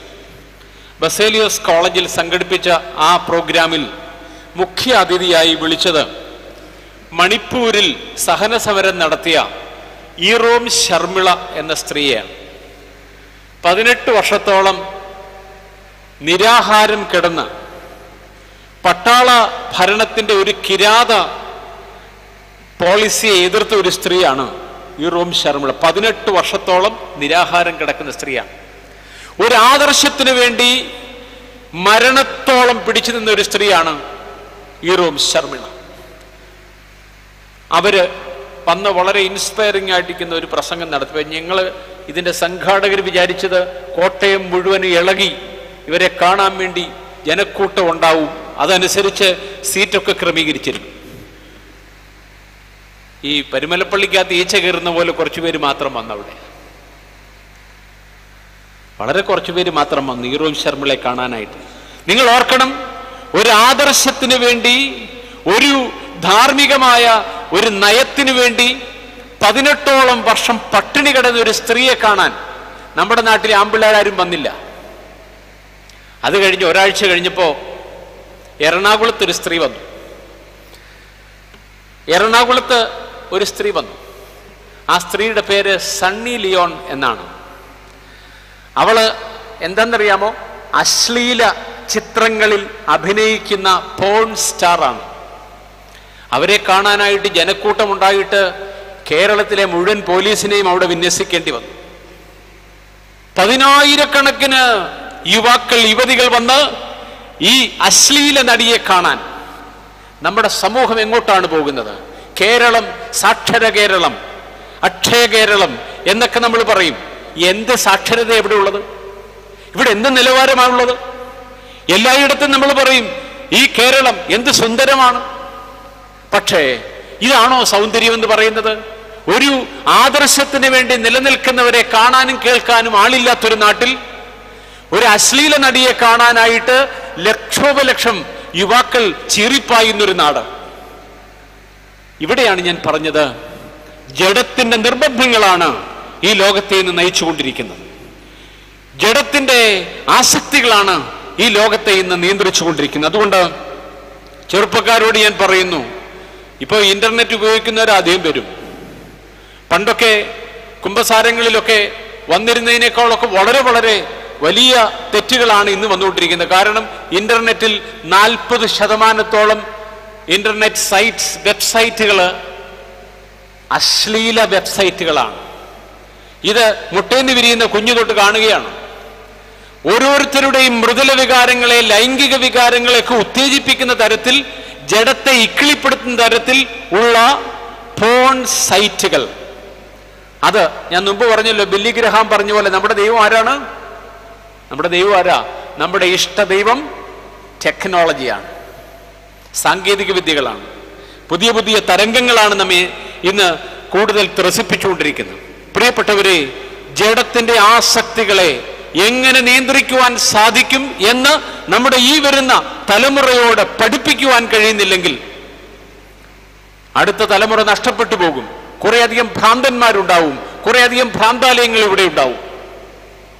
അതുകൊണ്ട് ജഡത്തിന്റെ ആസക്തികളെ നിയന്ത്രിക്കുവാൻ നമുക്ക് കിട്ടും ഒന്നാമത്തെ സിൻഡ്രം ഈ ദേമാ സിൻഡ്രമിന്റെ ഒന്നാമത്തെ ലക്ഷണം ഞാൻ പറഞ്ഞു the first symptom of Dema syndrome is carnality എന്താണ്? ജഡമോഹം രണ്ടാമത്തത് കൺമോഹം എന്നുള്ളതാണ്. കൺമോഹം the lust of the eyes കണ്ണിന് കാണുന്നതൊക്കെ കാമിക്കുന്ന കണ്ണിന് അനുഭവവേദ്യമാകുന്ന എല്ലാ കാര്യങ്ങളും സ്വന്തമാക്കണമെന്ന് ആഗ്രഹിക്കുന്ന ഒരു തരം ഫിലോസഫിയാണ് നമ്മുടെ കണ്ണ് എന്തിലൊക്കെ പതിയുന്നോ അത് എനിക്ക് വേണം എന്നുള്ള വളരെ ഹീനമായ ഒരു ചിന്ത. അതാണ് കൺമോഹം എന്ന് പറയുക. ഈ കണ്ണുകൾ ഒരു മനുഷ്യന്റെ ഏറ്റവും ഈ ശരീരത്തിലെ ഏറ്റവും തേജസ്സുള്ള ഏറ്റവും പ്രകാശമുള്ള ഒരു ശരീരത്തെ മുഴുവനും നിയന്ത്രിക്കുന്ന ഒരു പ്രധാന അവയവമാണ് കണ്ണ്. അതാണല്ലോ നിന്റെ കണ്ണ് പോയെങ്കിൽ സർവതും പോയെന്ന് കർത്താവ് പറയുന്നത്. നിന്റെ കണ്ണ് ശരിയാണെങ്കിൽ എല്ലാം ശരിയാണ്. ഈ കണ്ണ് പലപ്പോഴും നമ്മെ തെറ്റിക്കുന്നതാണ്. അഡ്വർടൈസ്മെന്റ് കമ്പനികൾ മുഴുവനും കാശുണ്ടാക്കുന്നത് നമ്മുടെ കണ്ണുകളെ ആശ്രയിച്ചാണ്. നമ്മൾ എങ്ങനെ കാണുന്നു എന്നതിനെ ആശ്രയിച്ചാണ്. ഈ അഡ്വർടൈസ്മെന്റ് ലോകം നിലനിൽക്കുന്ന മുഴുവനും നമ്മുടെ കണ്ണുകളിൽ എങ്ങനെ ആകർഷണം കൊടുക്കാം എന്നതിനെ ആശ്രയിച്ചാണ്. ഇപ്പൊ ടി വി ഒന്ന് തുറന്നു നോക്കി. നമുക്ക് എന്തൊക്കെയാണ് അഡ്വർടൈസ്മെന്റുകൾ ജീവിതത്തിൽ ഇന്ന് വരെ ഏതെങ്കിലും ഒരു സ്ത്രീ ഫെയർ ആൻഡ് ലവ്ലി തേച്ച സുന്ദരിയായിട്ടുണ്ടെന്ന് എനിക്കറിയാൻ പാടില്ല. പക്ഷേ അങ്ങനെയാണ് പറയുന്നത്. നിങ്ങൾ ഇത് തേച്ചാ മതി. പിന്നെ നിങ്ങൾക്ക് യാതൊരു പ്രശ്നവുമില്ല. സൗന്ദര്യം കിട്ടിക്കഴിഞ്ഞു. അങ്ങനെ ഓരോരോ ഫെയർ ആൻഡ് ലവ്ലിയുടെ കാര്യം മാത്രമല്ല ഓരോന്നിനെ പറ്റി എടുത്തു നോക്കിക്കോളൂ. എത്രയൊക്കെ നമ്മെ ആകർഷിപ്പിക്കാമോ എന്തുമാത്രം വശീകരിക്കാമോ അത്തരത്തിലേക്കെല്ലാം ഈ പരസ്യതന്ത്രങ്ങൾ നീങ്ങുന്നതാണ് നമ്മൾ കണ്ടുകൊണ്ടിരിക്കുന്നത്. എല്ലാം തരുന്നതാണ്. എന്തൊക്കെ വാങ്ങിച്ചു കൂട്ടാമോ അതൊക്കെ വാങ്ങിക്കാൻ നമ്മെ ഉത്തേജിപ്പിക്കുന്ന തരത്തിലാണ് പരസ്യങ്ങൾ പോകുന്നത്. മിക്കവാറും വലിയ ബിസിനസ് ഹൗസിലെല്ലാം എഴുതി വെച്ചിട്ടുണ്ട്. ഇവിടെ സെയിലാണ് സെയിൽ നാൽപ്പത് ശതമാനം വരെ അമ്പത് ശതമാനം വരെ സെയിലാണ് ഈ ഒരു ബോർഡ് കാണുമ്പോൾ തന്നെ നമ്മുടെ ചങ്ക് പടപടായി ഇടിക്കാൻ തുടങ്ങി. ഇവിടുന്ന് കയറിയേ പറ്റുള്ളൂ കയറിയേ പറ്റുള്ളൂ. ഈ നാൽപ്പത് ശതമാനം സെയിൽ പ്രിയപ്പെട്ടവരെ ഈ പ്രൊമോഷൻസ് എല്ലാം ഈ എഴുതി വെച്ചിരിക്കുന്ന പ്രൊമോഷന്റെ എല്ലാം നമ്മളെ കളിപ്പിക്കാനുള്ള പരിപാടിയാണ്. ഒരു ബിസിനസ് ഹൗസും നഷ്ടത്തിലൊന്നും ചെയ്യില്ല. നമ്മളെ കബളിപ്പിക്കാൻ കൺസ്യൂമേഴ്സിനെ എങ്ങനെ കബളിപ്പിക്കാമെന്നാണ് അവർ പഠിച്ചുകൊണ്ടിരിക്കുന്നത്. അവർ അവർ പ്രചരിപ്പിച്ചുകൊണ്ടിരിക്കുന്നത്. ഒന്ന് വാങ്ങാൻ പോവാന്നിരിക്കട്ടെ. നമ്മുടെ വീട്ടിൽ സോപ്പില്ല. ഒരു സോപ്പ് വേണം. ഇത് വാങ്ങാൻ പോവാണ്. അവിടെ ചെല്ലുമ്പോൾ എന്താ ബോർഡ് കാണുന്നത്? അവിടെ ചെല്ലുമ്പോൾ സൂപ്പർ മാർക്കറ്റിൽ എന്താ എഴുതി വെച്ചേക്കുന്ന? ഇന്നത്തെ ബോർഡ്. രണ്ട് വാങ്ങിച്ചാൽ ഒന്ന് ഫ്രീ. രണ്ടെണ്ണം വാങ്ങിച്ചാൽ ഒരെണ്ണം ഫ്രീ. അപ്പോൾ ഒന്ന് വാങ്ങിക്കാൻ പോയാൽ എത്ര എണ്ണം വാങ്ങിക്കും? ഒന്ന് വാങ്ങാൻ പോയാൽ എത്ര വാങ്ങിക്കും? മൂന്നെണ്ണമായിട്ടാണ് വീട്ടിൽ പോരുന്നേ.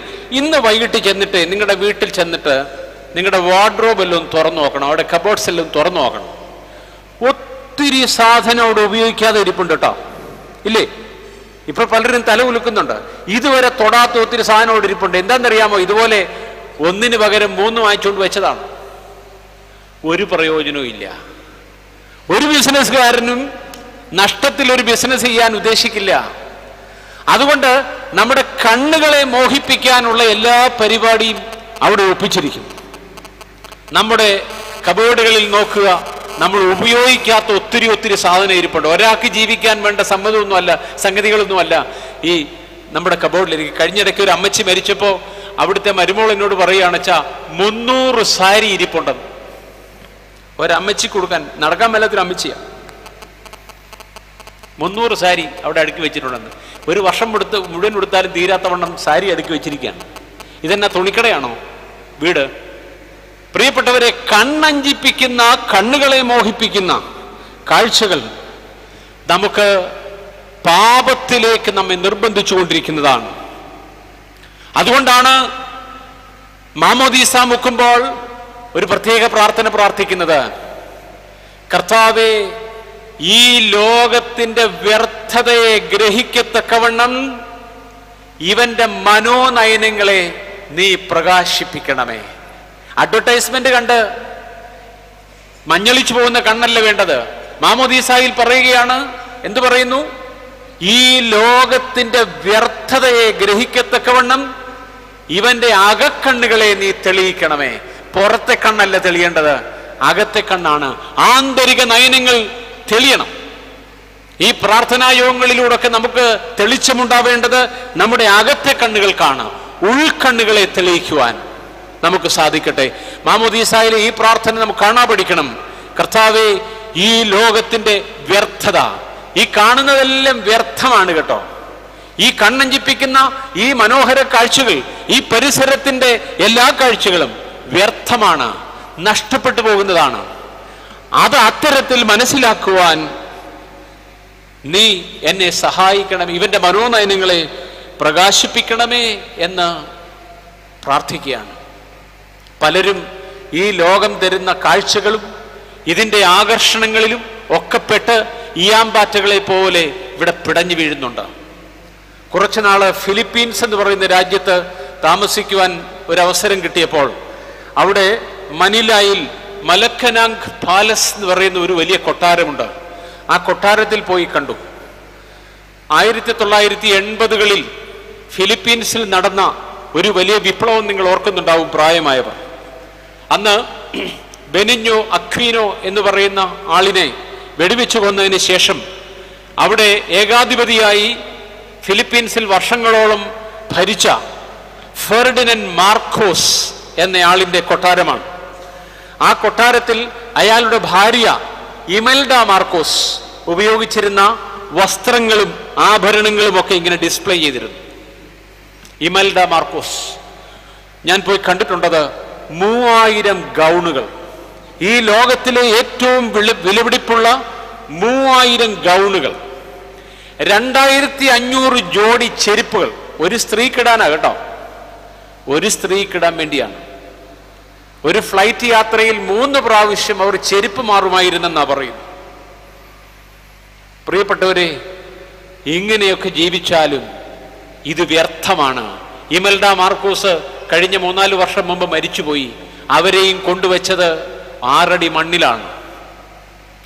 ഒരു ദിവസം അഞ്ചു പ്രാവശ്യം ചെരുപ്പ് മാറിയാലും നീ പത്ത് പ്രാവശ്യം നിന്റെ ഗൗണ് മാറിയാലും നിനക്കും ആറടി മണ്ണ് മാത്രമേ ദൈവം വിധിച്ചിട്ടുള്ളൂ. അതുകൊണ്ട് ഈ കൺമോഹം കണ്ണു തരുന്ന ഈ ഇമ്പങ്ങൾ അത് എപ്പോഴും നമ്മെ പ്രലോഭിപ്പിക്കുന്നതാണ്. അതിൽ വീഴാതിരിക്കുവാൻ നാം ശ്രദ്ധിക്കണം. കർത്താവിന്റെ അടുത്തും ഇത് തന്നെ വന്ന് പറഞ്ഞു. കണ്ണഞ്ചിപ്പിക്കുന്ന കാഴ്ചകൾ കാണിച്ചു കൊടുത്ത സാത്താൻ. സാത്താൻ എന്താ ചെയ്ത്? മത്തായുടെ സുവിശേഷം നാലാം അധ്യായം എട്ടാം വാക്യത്തിൽ പറയുന്നു. എന്തു പറയുന്നു?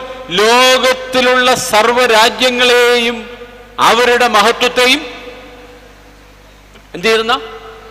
അവന് കാണിച്ചു. അവനെ കാണിച്ചു. അവന്റെ കണ്ണുകളിൽ കൊടുത്തു ഈ കാഴ്ച. എന്ത് കാഴ്ചയാണ്? ലോകത്തിന്റെ എല്ലാ രാജ്യങ്ങളും അതിന്റെ എല്ലാ മഹത്വങ്ങളും അവന്റെ കണ്ണിൽ കാണിച്ചു കൊടുത്തു. സാത്താന്റെ വലിയൊരു തന്ത്രമാണിത്. ഇപ്പൊ മാന്നാറിൽ ആ ടൗണിന്റെ ഭാഗത്ത് ഒരു അഞ്ച് സെന്റ് ഭൂമി ആർക്കെങ്കിലും തരാമെന്ന് പറഞ്ഞാൽ ഇവിടെ ധ്യാനം ഇടയ്ക്ക് മുറിച്ചേച്ച് പോയി ഒപ്പിട്ട് കൊടുക്കുന്നവർ എത്ര പേര് കാണും? ഇല്ലേ? ഈ രാജ്യം മുഴുവൻ വേണ്ട. എല്ലാം ഒന്നും വേണ്ട കുറച്ച് മതി. ഒരു അഞ്ച് സെന്റ് ഭൂമി ആ ആ സെന്ററിൽ കിട്ടുമെങ്കിൽ. സാത്താനെ കെട്ടിപ്പിടിച്ച് അഞ്ചു പ്രാവശ്യം ഉമ്മ കൊടുത്തേച്ച് നമ്മൾ വാങ്ങിച്ചേനത് ഇല്ലേ? ഈ കാണിക്കുന്ന പരിപാടി സാത്താന്റെതാണ് ഈ ഇമ്പങ്ങളൊക്കെ എടുത്ത് പൊക്കി കാണിക്കുക. കർത്താവിനെ കാണിച്ചു. ഈ ലോകത്തിന്റെ ഇമ്പങ്ങളൊക്കെ അവനെ അവനെ കാണിച്ചു. അവന്റെ കണ്ണുകൾക്ക് അനുഭവേദ്യമായി. പ്രിയപ്പെട്ടവരെ ഈ കൺമോഹം നമ്മെ തെറ്റിക്കും. ആദിമസഭയിൽ ആരും കൺമോഹത്തിന്റെ പുറകെ പോയില്ല. കൺമോഹത്തിന്റെ പുറകെ പോയില്ല. അപ്പോസ്വല പ്രവൃത്തികളിൽ അത് എഴുതിയിട്ടുണ്ട്. രണ്ടാം അധ്യായം നാൽപ്പത്തിനാല് മുതലുള്ള വാക്യങ്ങൾ നിങ്ങൾ വായിച്ചോണം. അപ്പോസ്തല പ്രവൃത്തി രണ്ടാം അധ്യായം നാൽപ്പത്തിനാല് മുതൽ നാൽപ്പത്തിയേഴ് വരെയുള്ള വാക്യങ്ങളിൽ അവരെങ്ങനെ ജീവിച്ചു എന്നതിനെ പറ്റി ഭംഗിയായിട്ട് ഇവിടെ എഴുതിയിട്ടുണ്ട്. ഈ കൺമോഹത്തിന്റെ പുറകെ പോകുന്നവരുടെ കഥ യഷിയ പ്രവാചകനും ഭംഗിയായി വിവരിച്ചിട്ടുണ്ട്.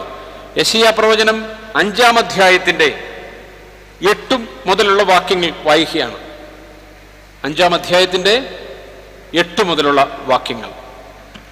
തങ്ങൾ മാത്രം ദേശമധ്യേ പാർക്കത്തക്കവണ്ണം മറ്റാർക്കും സ്ഥലമില്ലാതെയാകുവോളം വീടോട് വീട് ചേർക്കുകയും വയലോട് വയൽ കൂട്ടുകയും ചെയ്യുന്നവർക്ക് അയ്യോ കഷ്ടം.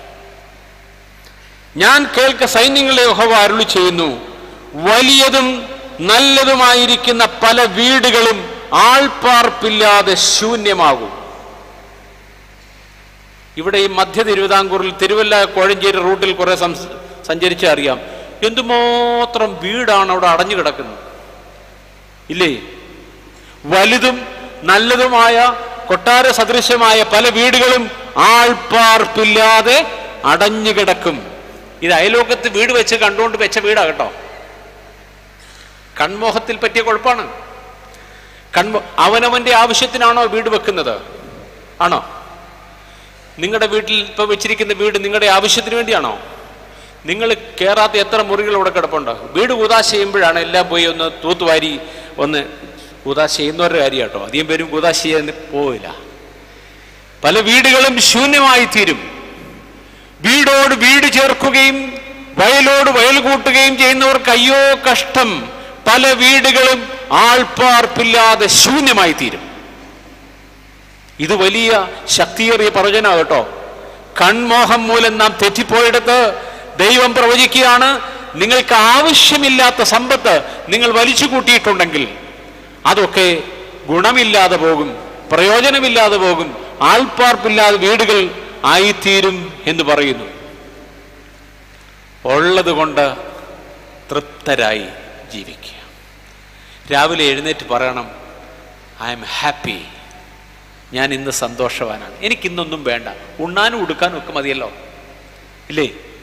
തിമോത്യോസിന് എഴുതിയ ലേഖനം ആറാം അധ്യായ ആറാം അധ്യായത്തിന്റെ ഒൻ ഏഴും എട്ടും ഒമ്പതും വാക്യങ്ങൾ വായിക്കണം. ഒന്ന് തിമോത്യോസ് ആറാം അധ്യായം ഏഴും എട്ടും വാക്യങ്ങൾ. ഒന്ന് തിമോത്തിയോസ്. ഒന്ന് തിമോത്തിയോസ് ആറാം അധ്യായത്തിന്റെ ആറും ഏഴും വാക്യങ്ങൾ. ഇഹലോകത്തിലേക്ക് നാം ഒന്നും കൊണ്ടുവന്നിട്ടില്ല. ഇവിടെ നിന്ന് യാതൊന്നും കൊണ്ടുപോകുവാൻ കഴിയുന്നതുമല്ല. ഉണ്മാനും ഉടുപ്പാനും ഉണ്ടെങ്കിൽ മതി എന്ന് വെക്കുക. ഇന്ന് വരെ ആരെങ്കിലും പറഞ്ഞിട്ടുണ്ടോ അങ്ങനെ? ഇത്ര മതി എനിക്ക്. ഉണ്ണാനുള്ളത് ചിലപ്പോൾ പറഞ്ഞേക്കുമായിരിക്കും. ഉണ്ടുണ്ടുണ്ടുണ്ട് വയറ് ഭൂഷണിച്ച് കഴിയുമ്പോൾ മതിയെന്ന് പറയുമായിരിക്കും. പക്ഷേ ഉടുക്കാനുള്ളത് മതിയെന്ന് പറയുമോ ആരെങ്കിലും? പറയുമോ? പ്രയാസാണ്. ഉണ്ണാനും ഉടുപ്പാനും ഉണ്ടെങ്കിൽ മതി എന്ന് വെപ്പീൻ. ഞാൻ ആദ്യമേ പറഞ്ഞല്ലോ സമാധാനമില്ലാതെ മനുഷ്യൻ ഉഴറുകയാണ്. വലിയ വീടുണ്ട് ബ്രാൻഡ് ന്യൂ കാറുണ്ട് വലിയ ബാങ്ക് ബാലൻസുകളുണ്ട്. എന്നിട്ടും ആത്മഹത്യയെപ്പറ്റി ചിന്തിക്കുന്ന അനേകർ ഈ സമൂഹത്തിൽ നിന്ന് ഉണ്ടായതിന്റെ കാരണം ഇതാണ്. ഉണ്ണാനും ഉടുപ്പാനും ഉണ്ടെങ്കിൽ മതി എന്ന് വെച്ചില്ല. പിന്നെയും പിന്നെയും പിന്നെയും കൂട്ടണമെന്നും കൂടുതൽ സമ്പാദിക്കണമെന്നും പറഞ്ഞ് അന്യായമായും അവിഹിതമായും മുന്നോട്ട് പോയതുകൊണ്ടാണ് ഈ പ്രശ്നം ഉണ്ടാകുന്നത് സമാധാനം നഷ്ടപ്പെട്ടു പോകുന്ന ധനികന്മാരാകുവാൻ ആഗ്രഹിക്കുന്നവർ പരീക്ഷയിലും കെണികളിലും കുടുങ്ങുകയും മനുഷ്യർ സംഹാരനാശങ്ങളിൽ മുങ്ങിപ്പോകുവാൻ ഇടവരുന്ന മൗഢ്യവും ദോഷകരവുമായ പല മോഹങ്ങൾക്കും ഇരയായി തീരുകയും ചെയ്യുന്നു. പ്രിയപ്പെട്ടവരെ കൺമോഹം ഈ പ്രശ്നം പ്രശ്നമുണ്ടാക്കും. അവസാനത്തെ ഒരു കാര്യം കൂടെ പറഞ്ഞ് നിർത്തുകയാണ്. മൂന്നാമത്തെ സിംറ്റം എന്താണ്? ജീവനത്തിന്റെ പ്രതാപം. പ്രൈഡ് ഓഫ് ലൈഫ് ജീവനത്തിന്റെ പ്രതാപം. അഹങ്കാരം. പോൾ ടില്ലിക് എന്ന് പറയുന്ന ഒരു വലിയ ചിന്തകനുണ്ട്. അദ്ദേഹം എഴുതിയത് മൂന്ന് മാലഡീസ് ആണ് ഈ ലോകത്തിലുള്ളത്. ഹിബ്രിസ് അൺബിലീഫ് ആൻഡ് കോൺക്യൂപ്പിസൻസ് മൂന്ന് കാര്യങ്ങൾ. ഒന്ന് അഹങ്കാരം. ഹിബ്രിസ് എന്ന് പറയുന്ന അഹങ്കാരമാണ്. രണ്ട് അൺബിലീഫ് അവിശ്വാസം. അവിശ്വാസം അഹങ്കാരം കോൺക്യൂപ്പിസൻസ് എന്ന് പറഞ്ഞ അതിമോഹം. അവിശ്വാസം അഹങ്കാരം അതിമോഹം ഇത് മൂന്നുമാണ് ഈ ലോകത്തിന്റെ മൂന്ന് ദോഷങ്ങൾ ത്രിവിധ ദോഷങ്ങൾ എന്ന് അദ്ദേഹം എഴുതി വെച്ചിട്ടുണ്ട്. പ്രിയപ്പെട്ടവരെ ഇവിടെ ഞാൻ പറഞ്ഞു വന്നത് ജീവനത്തിന്റെ പ്രതാപം അഹങ്കാരം. നമുക്കെന്തിലാ അഹങ്കരിക്കാനുള്ളത്?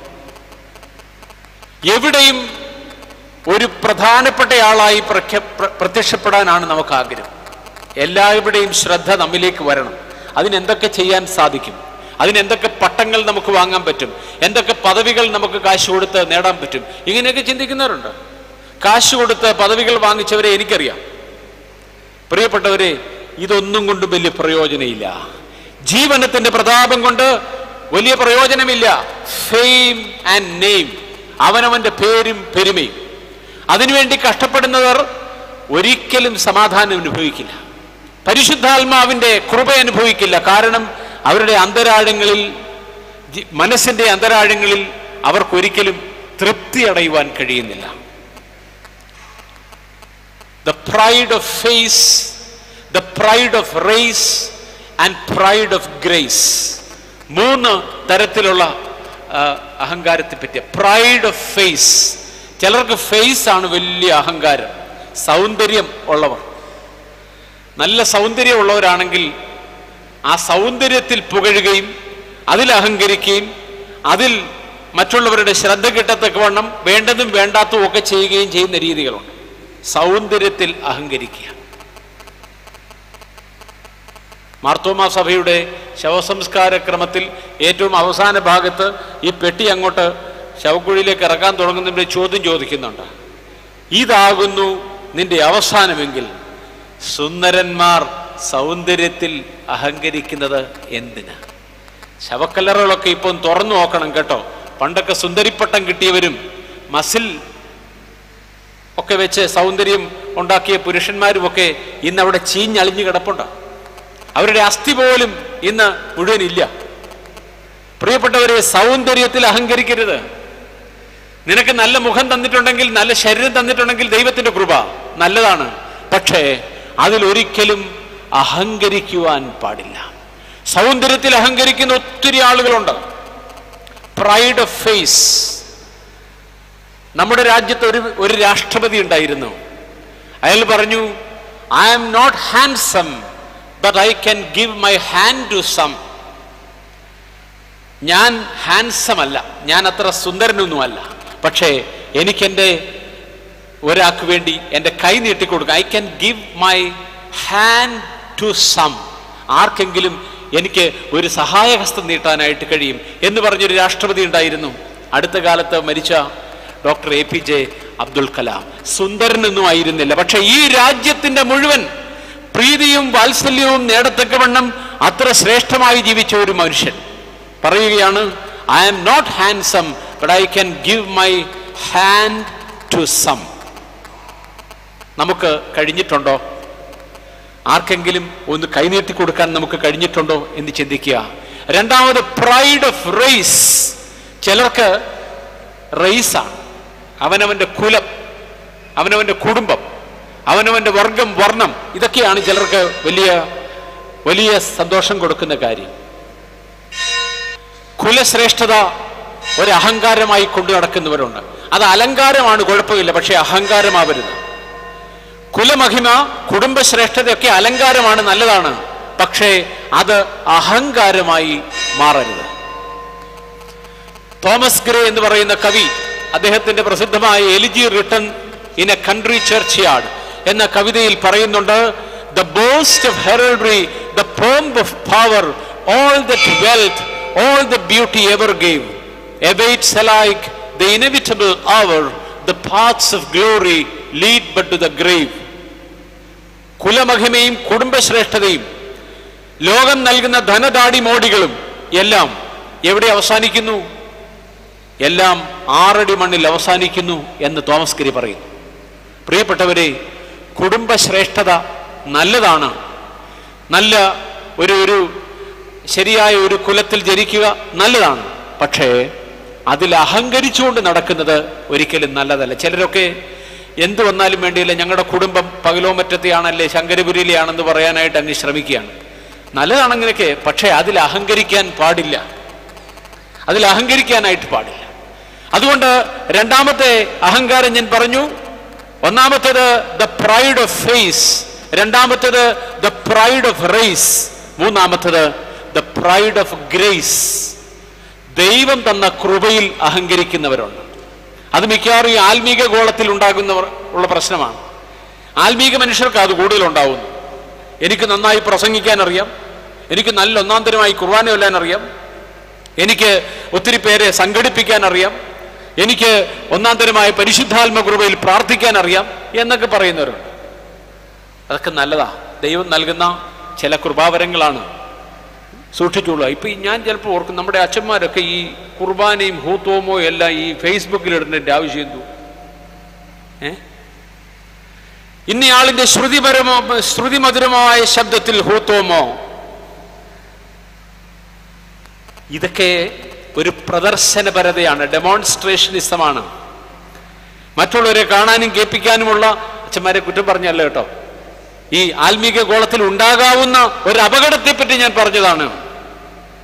ഗ്രേസിൽ ഒരിക്കലും ഒരിക്കലും അഹങ്കരിക്കാൻ പാടില്ല. ദൈവം തന്ന കൃപയിൽ അഹങ്കരിക്കരുത്. അതുകൊണ്ടാണ് പൗലുസ് ലിഹ പറയുന്നത് താൻ നിൽക്കുന്നു എന്ന് തോന്നുന്നവൻ ബാക്കി എന്തുവാ? വീഴാതിരിക്കുവാൻ സൂക്ഷിച്ചു കൊള്ളട്ടെ അത് നിങ്ങൾ താഴെ ഇരിക്കുന്നവരൊന്നും വീഴത്തില്ല. ഞാൻ ഇവിടെ നിൽക്കുന്ന ആളെ വീഴത്തും ഇരിക്കുന്ന ആൾ പെട്ടെന്ന് വീഴത്തില്ല. നിൽക്കുന്ന ആൾ വീഴാനുള്ള സാധ്യത ഉണ്ട്. അതുകൊണ്ട് ആർക്കെങ്കിലും കൃപ ലഭിച്ചിട്ടുണ്ടെങ്കിൽ ആർക്കെങ്കിലും നൽവരം കിട്ടിയിട്ടുണ്ടെങ്കിൽ ആർക്കെങ്കിലും ദൈവാനുഗ്രഹം വാരിക്കോരി ലഭിച്ചിട്ടുണ്ടെങ്കിൽ അഹങ്കരിക്കരുത്. വീണു പോവാനുള്ള സാധ്യതയുണ്ട്. അതുകൊണ്ടാണ് ഇംഗ്ലീഷിൽ സാധാരണയായിട്ട് പറയുന്നത് how are the mighty fallen പ്രബലന്മാർ എങ്ങനെ വീണുപോയി? പ്രിയപ്പെട്ടവരെ ദൈവാനുഗ്രഹത്തിൽ ഒരിക്കലും അഹങ്കരിക്കരുത്. നമുക്ക് ഇപ്പോൾ ഈ അഹങ്കാരങ്ങളെല്ലാം കൂടെ മൂത്ത് മൂത്ത് മൂത്ത് മൂത്ത് നമുക്ക് അപ്പനും അമ്മയും വേണ്ടാത്ത ഒരു രീതി വരെ എത്തിയിട്ടുണ്ട്. അപ്പനും അമ്മയും നമുക്ക് ഇപ്പോൾ വേണ്ട എന്ന തരത്തിലേക്ക് വരെ ആയിക്കഴിഞ്ഞു നമ്മുടെ ജീവിതങ്ങൾ. നമ്മുടെ സമൂഹത്തിൽ അപ്പനും അമ്മയും ഏറ്റവും പ്രധാനമായിട്ട് നാം കരുതേണ്ട ആളുകളാണ്. അവരെ ഒരു ദിവസത്തേക്കുള്ള ഒരു ഒരു കമോഡിറ്റി ആയിട്ട് മാറ്റിയ ഒരു കാലമാണിത്. ഞാൻ ഇന്നലെ വന്ന ഒരു മെസ്സേജ് വായിക്കുകയാണ്. നൊന്ത് പ്രസവിച്ച അമ്മയ്ക്ക് വേണ്ടി ഒരു ദിനം. മദേഴ്സ് ഡേ പോറ്റി വളർത്തിയ അച്ഛന് വേണ്ടി ഒരു ദിനം ഫാദേഴ്സ് ഡേ കൂടപ്പിറപ്പായ പെങ്ങൾക്ക് ഒരു ദിനം സിസ്റ്റേഴ്സ് ഡേ കൂടെ വളർന്ന സഹോദരന് ഒരു ദിനം ബ്രദേഴ്സ് ഡേ കൂടെ നടന്ന സുഹൃത്തിന് വേണ്ടി ഒരു ദിനം. ഫ്രണ്ട്ഷിപ്പ് ഡേ അക്ഷരം പഠിപ്പിച്ച അധ്യാപകന് ഒരു ദിനം. ടീച്ചേഴ്സ് ഡേ സ്ത്രീകൾക്കൊരു ദിനം വിമൻസ് ഡേ പുരുഷനൊരു ദിനം മെൻസ് ഡേ കുട്ടികൾക്കൊരു ദിനം ചിൽഡ്രൻസ് ഡേ അംഗപരിമിതകർക്കും അശരണർക്കും ആലംബഹീനർക്കും ഒരു ദിനം. സർവം ക്ഷണിക്കുന്ന ഭൂമിക്ക് സർവവും ക്ഷമിക്കുന്ന ഭൂമിക്ക് ഒരു ദിനം ഭൗമദിനം അങ്ങനെ അങ്ങനെ മുപ്പത്തി മുന്നൂറ്റി അറുപത്തഞ്ച് ദിവസം ഓരോ ദിവസമായിട്ട് വെച്ചേക്കാണ്. ഞാൻ ഓർക്കുമായിരുന്നു ഈ അമ്മയെ ഒരു ദിവസം മാത്രം ബഹുമാനിച്ചാൽ മതിയോ? മുന്നൂറ്റി അറുപത്തഞ്ച് ദിവസത്തിൽ ഒരു ദിവസം മാത്രം. മദേഴ്സ് ഡേയിൽ ഈ പടിഞ്ഞാറൊക്കെ അങ്ങനെയാണ് അമ്മയുടെ ആ മദേഴ്സ് ഡേയിൽ എല്ലാവരും അങ്ങോട്ട് പോയിട്ട് ഒരു പൂവൊക്കെ കൊണ്ടു കൊടുത്ത് അമ്മയ്ക്ക് ഹായ് ബൈ ഒക്കെ പറഞ്ഞേച്ച് ഒരു കേക്ക് ഒക്കെ വാങ്ങിച്ചു കൊടുത്തേച്ച് പോയി. അന്നേ ഉള്ളൂ അമ്മ അമ്മ അമ്മയായിട്ടിരിക്കുന്നു പ്രിയപ്പെട്ടവരെ നമുക്ക് നഷ്ടപ്പെട്ടു പോയ കൃപ ഇതാണ്. കാലങ്ങൾക്ക് മുമ്പ് ഭൂമി ഉണ്ടായിരുന്നു പ്രകൃതി ഉണ്ടായിരുന്നു മരങ്ങളും മലകളും പുഴകളും ഉണ്ടായിരുന്നു. അച്ഛനും അമ്മയും സഹോദരനും സഹോദരിയും സുഹൃത്തും ഗുരുവും എല്ലാം ഉണ്ടായിരുന്നു. അവരെ എന്നും നാം ഓർമ്മിച്ചിരുന്നു പൂജിച്ചിരുന്നു. അതിനുവേണ്ടി മാത്രം ഒരു ദിനം ഉണ്ടായിരുന്നില്ല. അതെല്ലാം സംരക്ഷിച്ചു പോന്ന ഒരു സംസ്കാരം നമുക്കുണ്ടായിരുന്നു. ഭൂമിയെ തൊട്ടുവണങ്ങിയിരുന്നു മാതാവിനെയും പിതാവിനെയും ഗുരുക്കന്മാരെയും ഈശ്വരതുല്യം കണ്ടിരുന്നു. പുഴകളും മരങ്ങളും മലകളും പശുവും പാമ്പും പുല്ലും പുൽച്ചാടിയും വരെ സർവജീവജാലങ്ങളെയും ആരാധിച്ചിരുന്നു സംരക്ഷിച്ചിരുന്നു. അന്ന് മഴയുണ്ടായിരുന്നു വെള്ളമുണ്ടായിരുന്നു വിഷമില്ലാത്ത ഭക്ഷണമുണ്ടായിരുന്നു പരസ്പരം സ്നേഹമുണ്ടായിരുന്നു ബഹുമാനിച്ചിരുന്നു. നീയും ഞാനും ഉണ്ടായിരുന്നില്ല മറിച്ച് നമ്മൾ ഉണ്ടായിരുന്നു ഇടയ്ക്കെപ്പോഴോ നമ്മുടെ സംസ്കാരം നശിക്കപ്പെട്ടു. നമുക്കിടയിൽ വേലി കെട്ടി നീയും ഞാനുമായി. ഭൂമി കോപിച്ചു പുഴ മലിനപ്പെട്ടു മരങ്ങൾ കടപുഴകി പക്ഷിമൃഗാദികൾ ചത്തൊടുങ്ങി അമ്മയെയും പെങ്ങളെയും കണ്ടാൽ തിരിച്ചറിയാതെയായി. അച്ഛനും സഹോദരനും ഗുരുവിനും നേരെ കൈയോങ്ങി ഭാഷ നശിച്ചു വേഷം നശിച്ചു കുടിക്കാൻ വെള്ളമില്ലാതായി കഴിക്കാൻ അന്നമില്ലാതായി ശ്വസിക്കുവാൻ വായുവില്ലാതായി. വീണ്ടും വീണ്ടും പുതിയ ദിനങ്ങൾ നാം ആചരിച്ചു കൊണ്ടേയിരിക്കുന്നു നാട് നശിച്ചു അനുകരിക്കേണ്ടത് മുദ്രാവാക്യങ്ങളും സിദ്ധാന്തങ്ങളും അല്ല മര്യാദകളും മാതൃകകളുമാണ്. ആചരിക്കേണ്ട ദിനങ്ങളല്ല സംസ്കൃതിയും സംസ്കാരവുമാണ്. അതുകൊണ്ട് സംസ്കാരം വീണ്ടെടുക്കുക നഷ്ടപ്പെട്ടതെല്ലാം തിരിച്ചു പിടിക്കാം. പ്രിയപ്പെട്ടവരെ നമുക്ക് നഷ്ടപ്പെട്ടത് ഒത്തിരിയുണ്ട് നാം ഈ കൺമോഹത്തിലും ജഡമോഹത്തിലും ജീവനത്തിന്റെ പ്രതാപത്തിലും ഉൾപ്പെട്ടു പോയത് കൊണ്ട് നമുക്ക് നഷ്ടപ്പെട്ടത് ഒത്തിരിയുണ്ട് നമ്മുടെ സംസ്കൃതി നഷ്ടപ്പെട്ടു നമ്മുടെ ഭാഷ നഷ്ടപ്പെട്ടു നമ്മുടെ കുടുംബം നഷ്ടപ്പെട്ടു നമ്മുടെ ബന്ധങ്ങൾ നഷ്ടപ്പെട്ടു. ഇവയെ തിരിച്ചു പിടിക്കുവാനുള്ള ഒരു നല്ല അവസരമായി ഈ കാത്തിരിപ്പിന്റെ ദിവസങ്ങളെ നാം മാറ്റണം. പെന്തിക്കോസ് ഞായറാഴ്ചയിൽ ഈ റെസ്റ്റോറേഷൻ ആണ് നടക്കേണ്ടത്. പരിശുദ്ധാത്മാവ് വന്ന് ഈ സൃഷ്ടിയെ മുഴുവനും പുതുതാക്കണമേ എന്നാവശ്യപ്പെടുന്ന പ്രാർത്ഥിക്കുന്ന മനോഹരമായ ഒരു പ്രാർത്ഥന നമുക്ക് ഉണ്ടാവട്ടെ. ഒരു കാര്യം കൂടെ പറഞ്ഞ് അവസാനിപ്പിക്കുകയാണ്. ഞാൻ എവിടെയോ വായിച്ചു. ആനോൺ എന്ന് പറയുന്ന പിതാവ് എഴുതിയിരിക്കുന്നതാണ്. The world is a bridge this world is a bridge and nobody will build a castle on a bridge. No wise man will bridge build a castle on a bridge. ഈ ലോകമെന്ന് പറയുന്നൊരു പാലമാണ്. നമുക്ക് അക്കരെ കടന്നു പോകാനുള്ള ഒരു പാലമാണ്. പാലത്തിന്റെ മുകളിൽ ആരും വീട് പണിയരുത്. നമുക്കിവിടെ നിലനിൽക്കുന്ന നഗരമില്ല. ഈ കാണുന്ന ലോകം ഒരു പാലം മാത്രമാണ്. അതിലൂടെ നാം കടന്നുപോയാൽ മാത്രം മതി. ഇവിടെ താമസിക്കുവാൻ കൊട്ടാരങ്ങൾ പണിയരുത്. ഈ പെന്തിക്കൊസ്തിയിലേക്ക് കടക്കുമ്പോൾ നമുക്ക് ഈ ദൃശ്യമായ ചിന്തകൾ നമ്മുടെ മനസ്സിലേക്ക് കൊണ്ടുവരാം. ജഡമോഹം കൺമോഹം ജീവനത്തിന്റെ പ്രതാപം ഇവ നമ്മെ കീഴടക്കാതെ ഇരിക്കട്ടെ. ലോകസ്നേഹം ദൈവസ്നേഹത്തിൽ നമ്മെ അകറ്റാതെ ഇരിക്കട്ടെ.